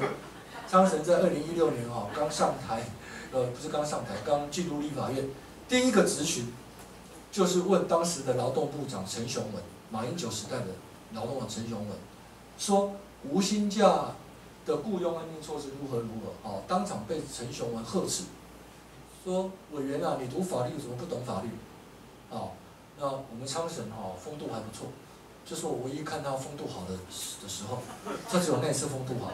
他说笑一笑说：“部长，你可能不熟了，回去好好翻翻法律，回去好好问问你的属下。各位，我们劳动部有这个制度哦。很可惜，我们的部长完全不知道，自己执掌有这个制度，叫雇佣安定措施哦。所以各位，无薪假我们是有方法的，但是哈，问题出在我们的雇佣安定措施哈，要件过度严苛。”所以你会发现，你绝对不会听到，我保证你这几天绝对不会听到政府说我要用雇佣安定措施，政府说我要用安心安心什么方案，安心安心就业方案之类的吗？对，好，我们政府说我会用就业安定基金几百亿的一两百亿的规模让大家安心就业，我们政府故意避开雇佣安定就这六个字，好，站在一个。法学者的角度，我会觉得非常遗憾。政府舍既有的法律不用，宁愿用临时性方案，好，很令人遗憾。当然了，两笔钱用的不一样。就呃，安心就业方案用的是就业安定基金，雇佣安定措施用的是就业保险基金，两笔钱不一样。哦，就业安定基金是我们雇佣外籍移工要缴给政府的钱。就业保险基金是我们每个有工作的人缴的就业保险费，它的来源不同了哦。很可惜，我们政府不舍，呃，我们政府舍这个既有的制度，宁愿就临时性的措施。好，接下来当然是积极消极劳动市场。哦，当年九二一大地震之后，哈，很多灾民失去了工作，那政府就推了非常多多元就业方案，对不对？啊，不管那个多元就业方案是补贴性就业。还是社会救助型就业，政府一定要准备做积极劳动市场措施。啊，那消极劳动市场措施就是帮劳工度过这个工资因为工作影响的工资损失了。啊，这几块我们政府都应该做，我们政府也都在做。啊，只是有一些做法，如同我刚说的，有一些可以商榷的地方而已。好，好，我们最后做一个总结，因为时间到了哈。我想哦，呃，今天也许，嗯。不一定那么完整的跟大家提到所有的面相哈，但我觉得应该有几个应该有提到了哈。我想我的结论就四个：第一个哈，防疫属于重大公益，得作为具有正当性的例外事由，不管是公务员哈被长官用勤务指示，或雇主哈指示劳工要为什么勤务，我们认为可以是例外。所以呢，如果防疫哈，当然了哈，防疫的意思当然是你的工作真的要跟防疫有关。我不会说啊，那个，目前这边防疫很紧急啊，哈，所以那个那个美食外送员不要休息。抱歉，这跟防疫没有关系，不要用防疫做一切的理由，不是要直接相关，至少要有相当关联的，如果有，就可以作为重大公益啊。那这个这个特别在那个呃，特别在那个呃呃特别的工作，特别休假的停止休假的工作。跟七休一的停止例假日的工作，我国法律都有规定。我刚刚说过的天灾事变、突发性事件，所以都可以。可是其他就没有了哦，各位，我国法律目前只有这两个例外。好，我说在劳工，一个是特别休假停止休假，好，也包括国定假日停止休假。另外一个是停止例假日，其他没有的哦。公务员更是没有，公务员更是没有。好，所以你就会发现我刚刚说的，因为我国的公务员欠缺权利义务的规定，就会变成这个原则例外哈，变成好像不存在一样，好像所有原则都可以是例外，所有例外都可以是原则。我们公务员会变成这样，劳工会比较好处理。好，第二个部分，普通法，例如我们的劳基法啊，我们劳基法如果我们劳基法呢欠缺政府命令，工时就可以例外。很抱歉，我们没有这个规定。好，我没有这个规定，很多国家都有这个规定。规定碰到紧急状况，政府可以下一个命令，让劳工的工时可以延长。我们没有，我没有，只能够回归我刚刚说的那个天灾事变、突发性事件啊，这是第二点啊。第三点哈，那么如果不可期待公务员或劳工安全执行职务，他有感染的风险，而且风险极高。我刚刚说过，如果是保证人地位的话，要例外一下。好，如果是一般人的话就没问题。一般人就说啊，我们公司有人确诊，好，而且这个扩散幅度可能不低，公司却没有停止上班的指示，你就可以拒绝，这个没有问题，好，没有问题。我们公司有人确诊，是在屏东分公司，所以台北我也不去了，恐怕就有点疑问了。所以这个我们要个案认定，原则是我刚刚说的，个案要依个案认定。啊，本公司有人确诊，那个确诊是在意大利分公司，很抱歉，你也不能主张在台湾不行。哎，你说，可是我们有一个台湾的这个同仁是昨天才从意大利出差回来，哎，那我就会犹豫了，那不一定。好，所以记住我们的劳动法三字真言。不一定没错，我的问题是，请问公司同仁有人确诊，我得否拒绝工作？你看我刚刚是不是讲了好几种可能？所以哈，我们必须容许个案上不同认定的空间啊。但如果真正确实存在，当然可以行使给付拒绝权，包括退避权或同时履行抗辩。好，如果是企业外行为义务，例如他真的出国了，啊，真的出国了，好。必须限于具体跟劳动关系相关，才可以禁止他。例如不准他出国，或他出国回来了，禁止他进来。啊，当然了，那你拒绝他进来工作，要不要给薪？这是一个难题。我们的特别条例有一些处理还好，但你会发现特别条例处理的是政府给你补贴。我们特别条例没有说老板要给他薪水。好，因为这个涉及到我们法律上很基本的问题，叫做可归责于谁的给付不能。这个很麻烦啊！这个容许我先不在这边困扰大家，因为我们有民法学说、劳动法学说，有企业危险理论，有经济，我们有好几个理论啊，我就不在这边困扰大家，那会比较麻烦一点。所以你会发现，我们特别条例只处理政府给补贴的部分，不处理雇主对劳工的问题。啊，最后如果形成特别牺牲，应予补偿没有问题；如果没有成立特别牺牲，还是可以用其他比较软性的手段。例如社会辅助促进手段加以补贴或其他措施，好，这是我简单的结论。好，谢谢大家，谢谢大家。这个我每次最佩服嘉禾的是这么严肃的事情，他可以讲到这，让大家都可以呃比较轻松的吸收啊。不过他讲说这个劳动法的三字。真言叫这这个这个不一定，对不对？我每次也是回答记者说不一定，但是记者的标题出来一定是痛批。对我对我对我这一招对我没有用啊，因为记者要我是痛批啊，所以不管我讲什么结论下哈就痛批一样。好，这个这个我我我这个稍微讲一下，刚刚嘉禾讲的在德国生产的，他其实还有一段没有讲那小朋友一出生以后，医院把所有医生都叫来，因为。这个小朋友身上有一个蒙古斑，对不对？就特别的东方人，对，就是应该是你讲的，不是？好，不知道是谁啊？应该是德国。我的小孩是不会走路。OK。是不会走路。因为好像那个叫蒙古斑，就是东方人才会有的啊，所以那个那个医院把所有医生实际就这样讲说，这就是蒙古斑哦。好，这个好像我认错人了哈。不，真的是不一定哈。譬如说，刚刚嘉禾讲的有几个例子，我我时常被。我我我大概最近大概每天几乎都会被媒体问到疫情的关系，跟老有跟跟劳动有关的。比如说他讲说，对我的员工请了特休假去旅行，但是回来他被隔离十四天，请问这十四天我要怎么办？不是要不要给薪、要不要给假的问题，而是我不是台积电，我也不是红海，我有严重的调度的困扰。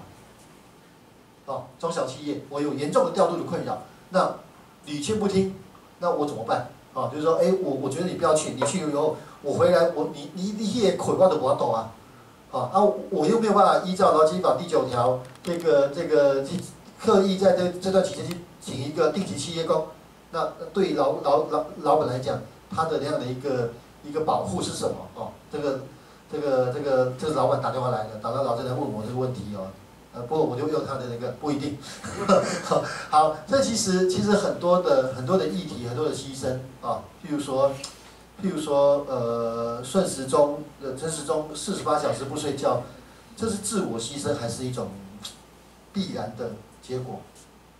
好，你懂我意思吗？因为因为我今天评论这个事情，我想说，我想说，其实这个社会不应该太去歌颂这种不休息的文化啊。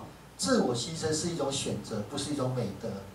永远要记得这句话啊！这句话是我从汶川大地震的时候，有一个老师，地震垮的时候他跑掉了，然后整个社会在挞伐他说：“你枉为人师，你为什么没有救小朋友？你自己跑掉了，你不是人。”他说：“对不起，自我牺牲是一种选择，不是一种美德。” OK 啊，但是刚刚嘉禾老师有提到，某一些的牺牲，它是基本上它是有可能，可能是，譬如它是命令。好，它是命令，那怎么办？啊，所以接下来就开放给大家。我相信大家有很多的问题，啊，就刚刚姜老师所说的，呃，这些太阳啊，或者是说，呃，理论上的学说，或者实质上我们可能碰到的一些问题，啊，我们就诶，开放给大家来讨论，来，不。基于这个中央疫情指挥中心的指示，一个活动不要超过两个小时，我会严格在九点半结束。好，来，有没有？好，就直接讲，好，我就不递麦克风了。老师想请问一下，像那个家庭看护啊，好，他不是公务员嘛，他也不是劳工嘛，因为他不是用劳基法，那所有这些东西根本没有办法保护他，就是说这些法律，就是他。就完，他怎么办？他遇到事情怎么办？那再来就是那个非法外籍看护，他非法，但是他就是在医院里面照顾最有风险的病人，那他的权益怎么保护？他有没有办法就是请求职业灾害啊，或者是工作工作伤害这些的权利？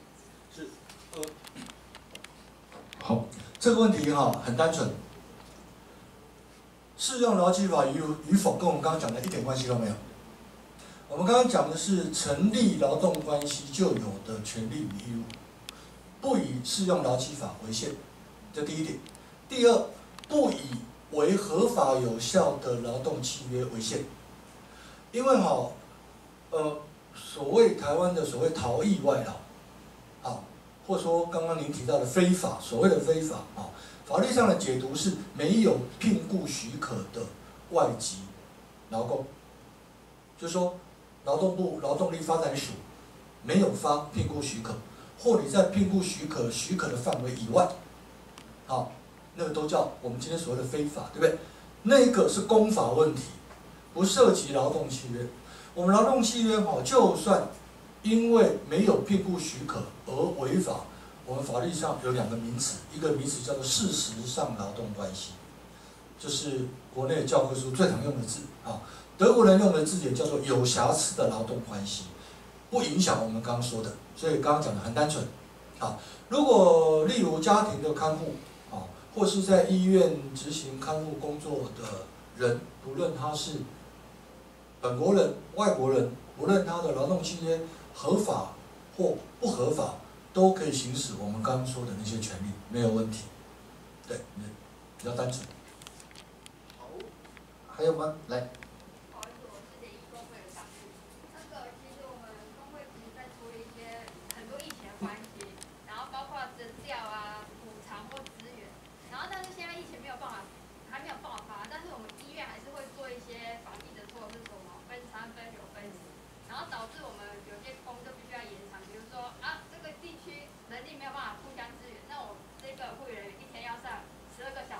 所以就变成真的十二个小时、十二个小时的轮班，可能会导致他的那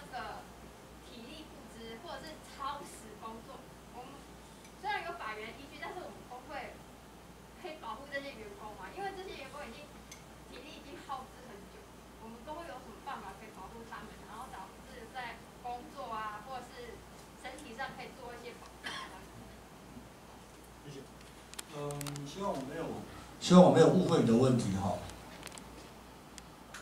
你的问题是说，我们医疗院所因为防疫的需要，也因为人力吃紧，所以就让员工减少休息，工作不但延长，而且跟有的例如不用倒班的，也可能被安排倒班，是吗？是这个意思？好，是你刚刚提到，虽然有补偿，但是现在这样做了。好，那我要问的第一点是，那么贵服务单位是否属于中央疫情指挥中心所命令，例如征调的必要工作范围内？这是第一个问题。就像我刚举的例子啊，特别条例呢赋予这个呃中央疫情指挥中心可以决定，对不对？可以决定我要征调。或哪些人要要，例如延长工作，可是呢，它的范围不明确，所以我们通常举的例子是说，一定要跟它的防疫需要直接相关。就像我我们经常举的最严的例子是，我要求口罩工厂，那个就很明确。好，所以如果如果贵服务单位是被指定防疫专责医院，被在防疫的任务中被分配特定的任务，如果是这样，我就觉得。在特别条例的涵盖范围内，如果没有这样，那我就要问了：医院有义务跟大家说明，医院认定我们属于特别条例或疫情指挥中心说的那一块，请问理由是什么？他就要讲的。好，这第一个问题就要讲的。好，第二，如果没有没有我刚说的那样，好，依现行法令来看，那么你的单位就有违法的嫌疑，看有违法嫌疑。好。各位好，只要没有我刚刚说的法定例外事由，不论那个例外事由是明定在法律中的，或是特别条例规范的，只要没有例外事由，回归一般的话，不能以人力吃紧作为理由。各位，人力吃紧不是不是不适用劳动保护的理由，就不是了。哦，很抱歉，不是。接下来工会该怎么办？个别劳工的问题，我们有合法判断。如果雇主违法，那个别劳工就可以争执，工会可以协助个别劳工争执。如果个别劳工的处遇是合法的，例如我刚刚讲那个室友，合法的，工会就可以跟雇主协商来改变我们觉得不好的地方，虽然它合法。好，各位，如果雇主违法，个别劳工都可以去争执。好，因为它是违法问题。政府机关、法院都可以求援啊，不过可能背后就是政府机关这样子，都可以求援，对不对？工会当然也可以帮忙劳工伸张个人的被违法对待的权利。万一如果雇主是合法，那抱歉，个别劳工没办法争执了，只能靠工会。工会哈最重要的正当性，各位，工会最重要的正当性不在帮忙劳工被违法对待，而在帮忙劳工争取比合法更好的东西。这是国内经常的误会，误会说啊，个别劳工，各位劳工哦，那个被雇主违法对待啊，工会应该出头，正好相反，法院应该让你靠，对不对？好，所以为什么在我们台湾跟很多国家一样，老板欠薪不能罢工，老板给你薪水，你想要更多才可以罢工，理由在这里。好，好，好。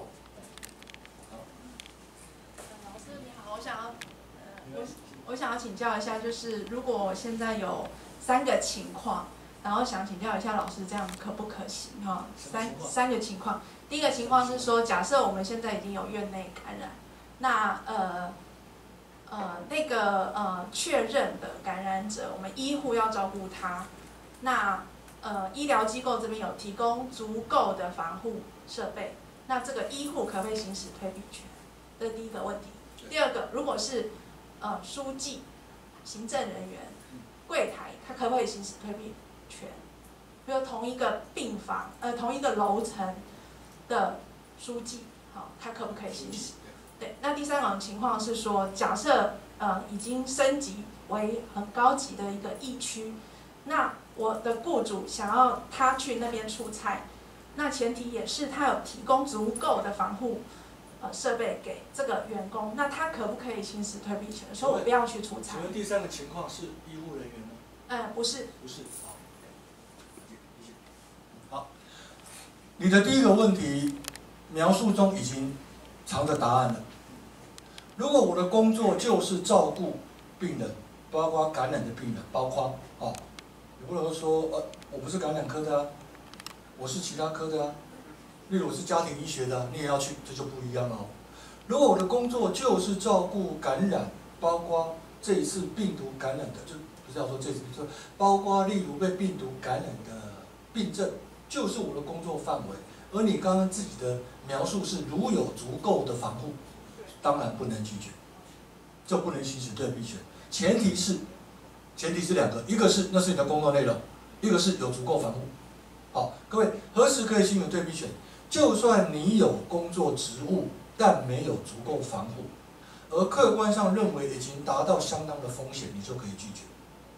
好，所以各位哈，我们在职业安全卫生法上的退避权，跟各国都一样，退避权到底行使为正当或非正当，可以事后由政府专责委员会认定。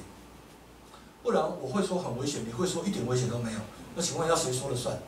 所以各国的退避权行使背后都会有个专责委员会来事事后认定，对不对？不然会各说各话。好，所以如果你的描述是一个客观的，以为足够防护，那当然不得行使退避权，不能。好，第二，书记或是其他的行政人员，因为同在病房楼层，距离病房很近，对不对？好，一样，我们会看到有没有感染风险。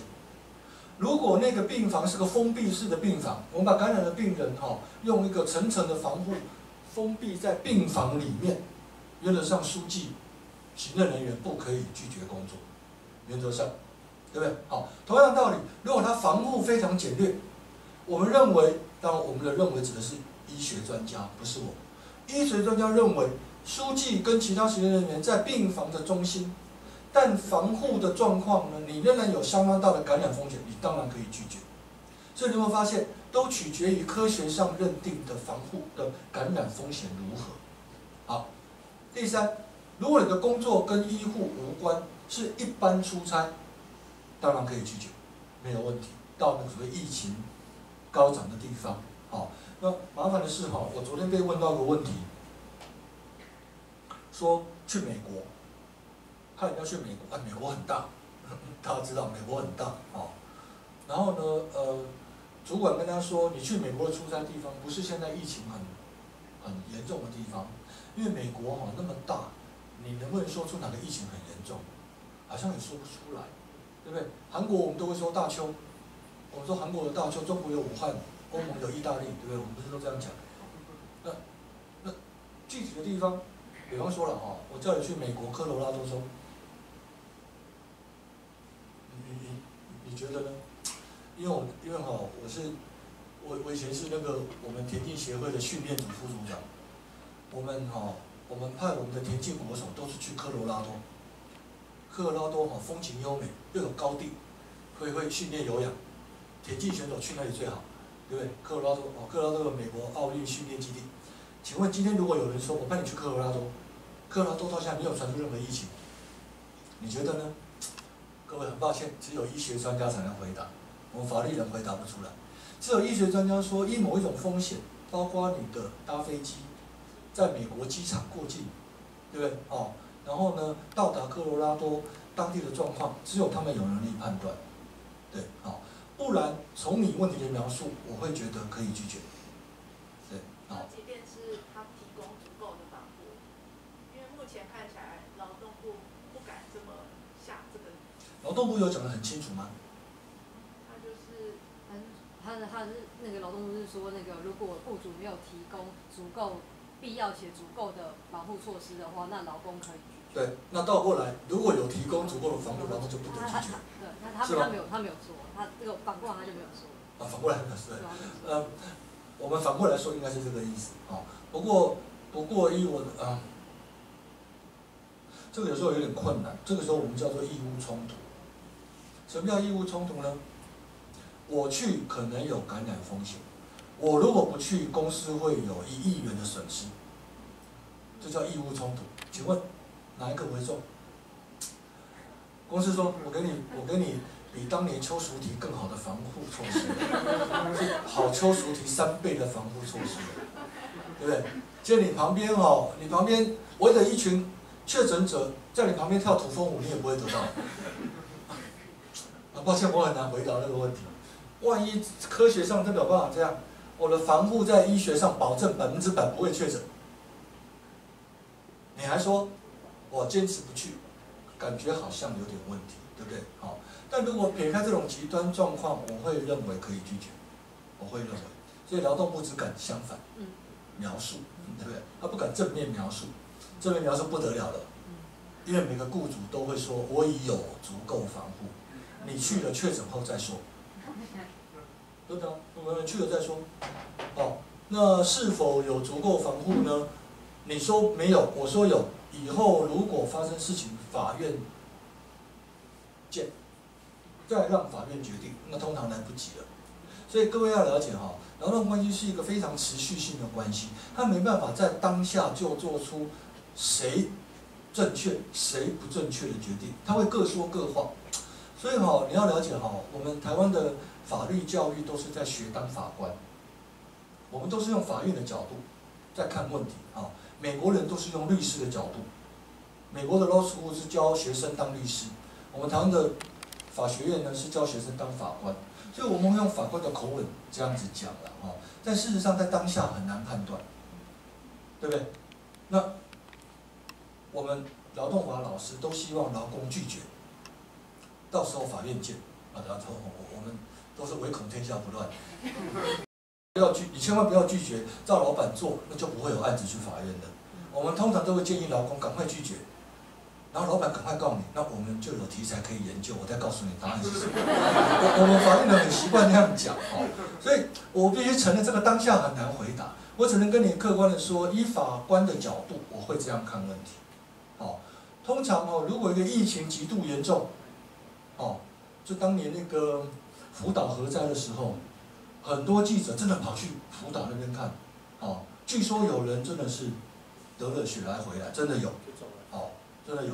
那就是说，请问派我去采访那个核灾变的地区，那我有极大的感染风险，请问雇主有没有防护措施？都有，照得无误。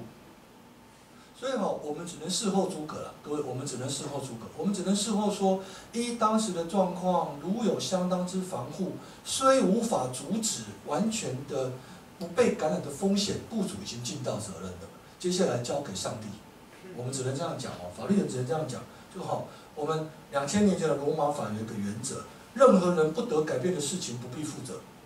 我们我们罗马法有这个原则，无法改变之事情无责任可言。对不对？我今天出差被闪电打到，老板要不要负责？好，很难，所以我只能够说，如果雇主当时叫你去提供的措施，基本上一般人的角度认为已经足够，劳工就很难拒绝。我必须这样说，好，但但因为那个这是个相互比较，你给我的防护措施跟那个地方的风险到底哪个？叫重，我们法律上叫称重。我们法律哈总是拿两个东西在称重，一个是雇主对你的保护，一个是我去的感染风险。如果感染风险大于防护，你拒绝，法律上绝对挺你。相对的，如果另外一个比较重呢，而且另外一个明显重很多，你说美国哪里我都不去，没有任何人确诊的科罗拉多我也不去，因为很有可能科罗拉多有人会感染，至少未来的某一天，好的。就很难说得过去哦。我们法律人总在称重，所以呢，我认为还是要依具体状况而定。对，好，必须要结束今天的任务了，呃，因为必须顺时钟。好，呃呃，但是我其实其实我觉得说这个议题会呃一直讨论下去啊，因为像我是劳政秘书长啊，我几乎这段期间我几乎每天都受访啊，每天都有不不不同不同的太阳，然后偶尔答不出来的时候，我跟你说，哎，我现在在。电梯里面，我就偷打电话给林嘉恒问一下，这边还够哈，因为有有时候的确是没有把握把那个所有的太一样，因为法法律无法把所有的太一样都描述来，哦，这是事实，啊，但是当你处理到这个时候，哎，这的确是有些某人的的的的时候，你要怎么去，呃呃呃，譬如说以保护劳工为为前提的那你要怎么去主张哦？啊，那呃，其实这个议题大概会继续的谈下去，因为短时间内大概很难啊。比如说我的国家马来西亚这两天发生的事情，因为呃一万五千人参加了一个呃很大型的宗教的集会，就是穆穆斯林的集会啊，现在已经在扩散当中了啊，大概会像大邱的韩国的那样情形啊啊，不过呃刚才讲。嘉禾其实给大家了一下一点，譬如说政府命令你不得营业，哎，我们就解决掉蛮多的问题。比如说意大利现在说，房商店都不能开嘛，好，那我们马来西亚也有，呃，苏丹谕令，就是圣旨到谕令，宗教，伊斯呃那个穆斯林礼拜五不可以在不可以去集会的，只能在家祈祷，好，啊，当然还有宗教使反对了，好像宗教讲说这个祈祷是一起的这样的一个事情啊，不过。国王哈，苏丹谕令啊，手谕说，礼拜五不得聚会，啊，那这个东西可能对某某种宗教或某种文化，它有一定的约束力，它不是法律啊，因为因为虽然是君主立宪，但不一定，它那个没有没有一个人可以限制你的人身自由啊。那我觉得种种的太阳其实还蛮蛮蛮蛮值得讨论的。那接下来，例如说对经济的冲击，啊，是是呃下个月的劳政跟。跟泽武团队一起办的，就是要讲对经济的冲击。我这我我下礼拜四也是有一场有一场座谈，就讲说那呃呃呃如何务实的去面对这个非规则于劳工跟雇主的紧急状态的的的事情，我们要怎么去面对？啊，我可以很务虚的讲说哦，全部都不可以，但是也许对劳工完全没有任何的，最终没有任何的保护。哦，这是我，这是我的，接下来会不不断的去去讨论的啊。那先借大家的手，谢谢嘉老师今天非常的精彩的分享啊。那也打个广告一下啊，就这个因为刚刚有讲过，这些展览是我们有一个好朋友叫李明哲啊，他呃下个礼拜三月十九号是他被失踪，在中国被失踪的第三周年。好，那我们有这样的一个展览，如果大家有有待待会有时间的话，也可以看一下。呃，我我们写给他的信啊，那还有那个明信片啊，那另外一个工商服务了哈，就是呃本本店也也也受到疫情蛮大的冲击的，因为蛮多活动取消啊，那我们也有呃也有一些呃方案啊，呃那也请大家参考啊，如果说有余力的话，也也可以呃这个自救性的纾困哈，那加入左转好朋友啊，那这也是一个一个呃呃。让这个社会可以运作下去的一个方法啊，那当然，呃，请大家以后还是要多多来参加责务啊，多多多多来参加这样的讨论。也许不一定有答案，不一定啊，不一定有答案。但是，的确法律有很多时候也不一定有答案哦。那但是我觉得借由这样的讨论，我们可以更了解啊。譬如说，在上个月讨论疫情的时候，我们讲说，防疫视同作战。作战的时候，作战有很多权利是被冻结，譬如说工会不得罢工，暂时工会不得罢工，被冻结了。那如果防疫视同作战，那那个原则一定下来以后，其实我们很多的法律所规范的这个权利可能就怎么样被约束了。那怎么办？哦，我们我们要怎么处理？哦，没有有有，可不可以在没有法源的情况之下，铺铺露你的旅游史？哎，这也是一个，这也是一个。很值得讨论的哦，很值得讨论的议题啊。但那显然这个议题会持续的、持续的下去的哦。那也也也请大家呃多多关注，另外多多洗手。OK，以上，谢谢。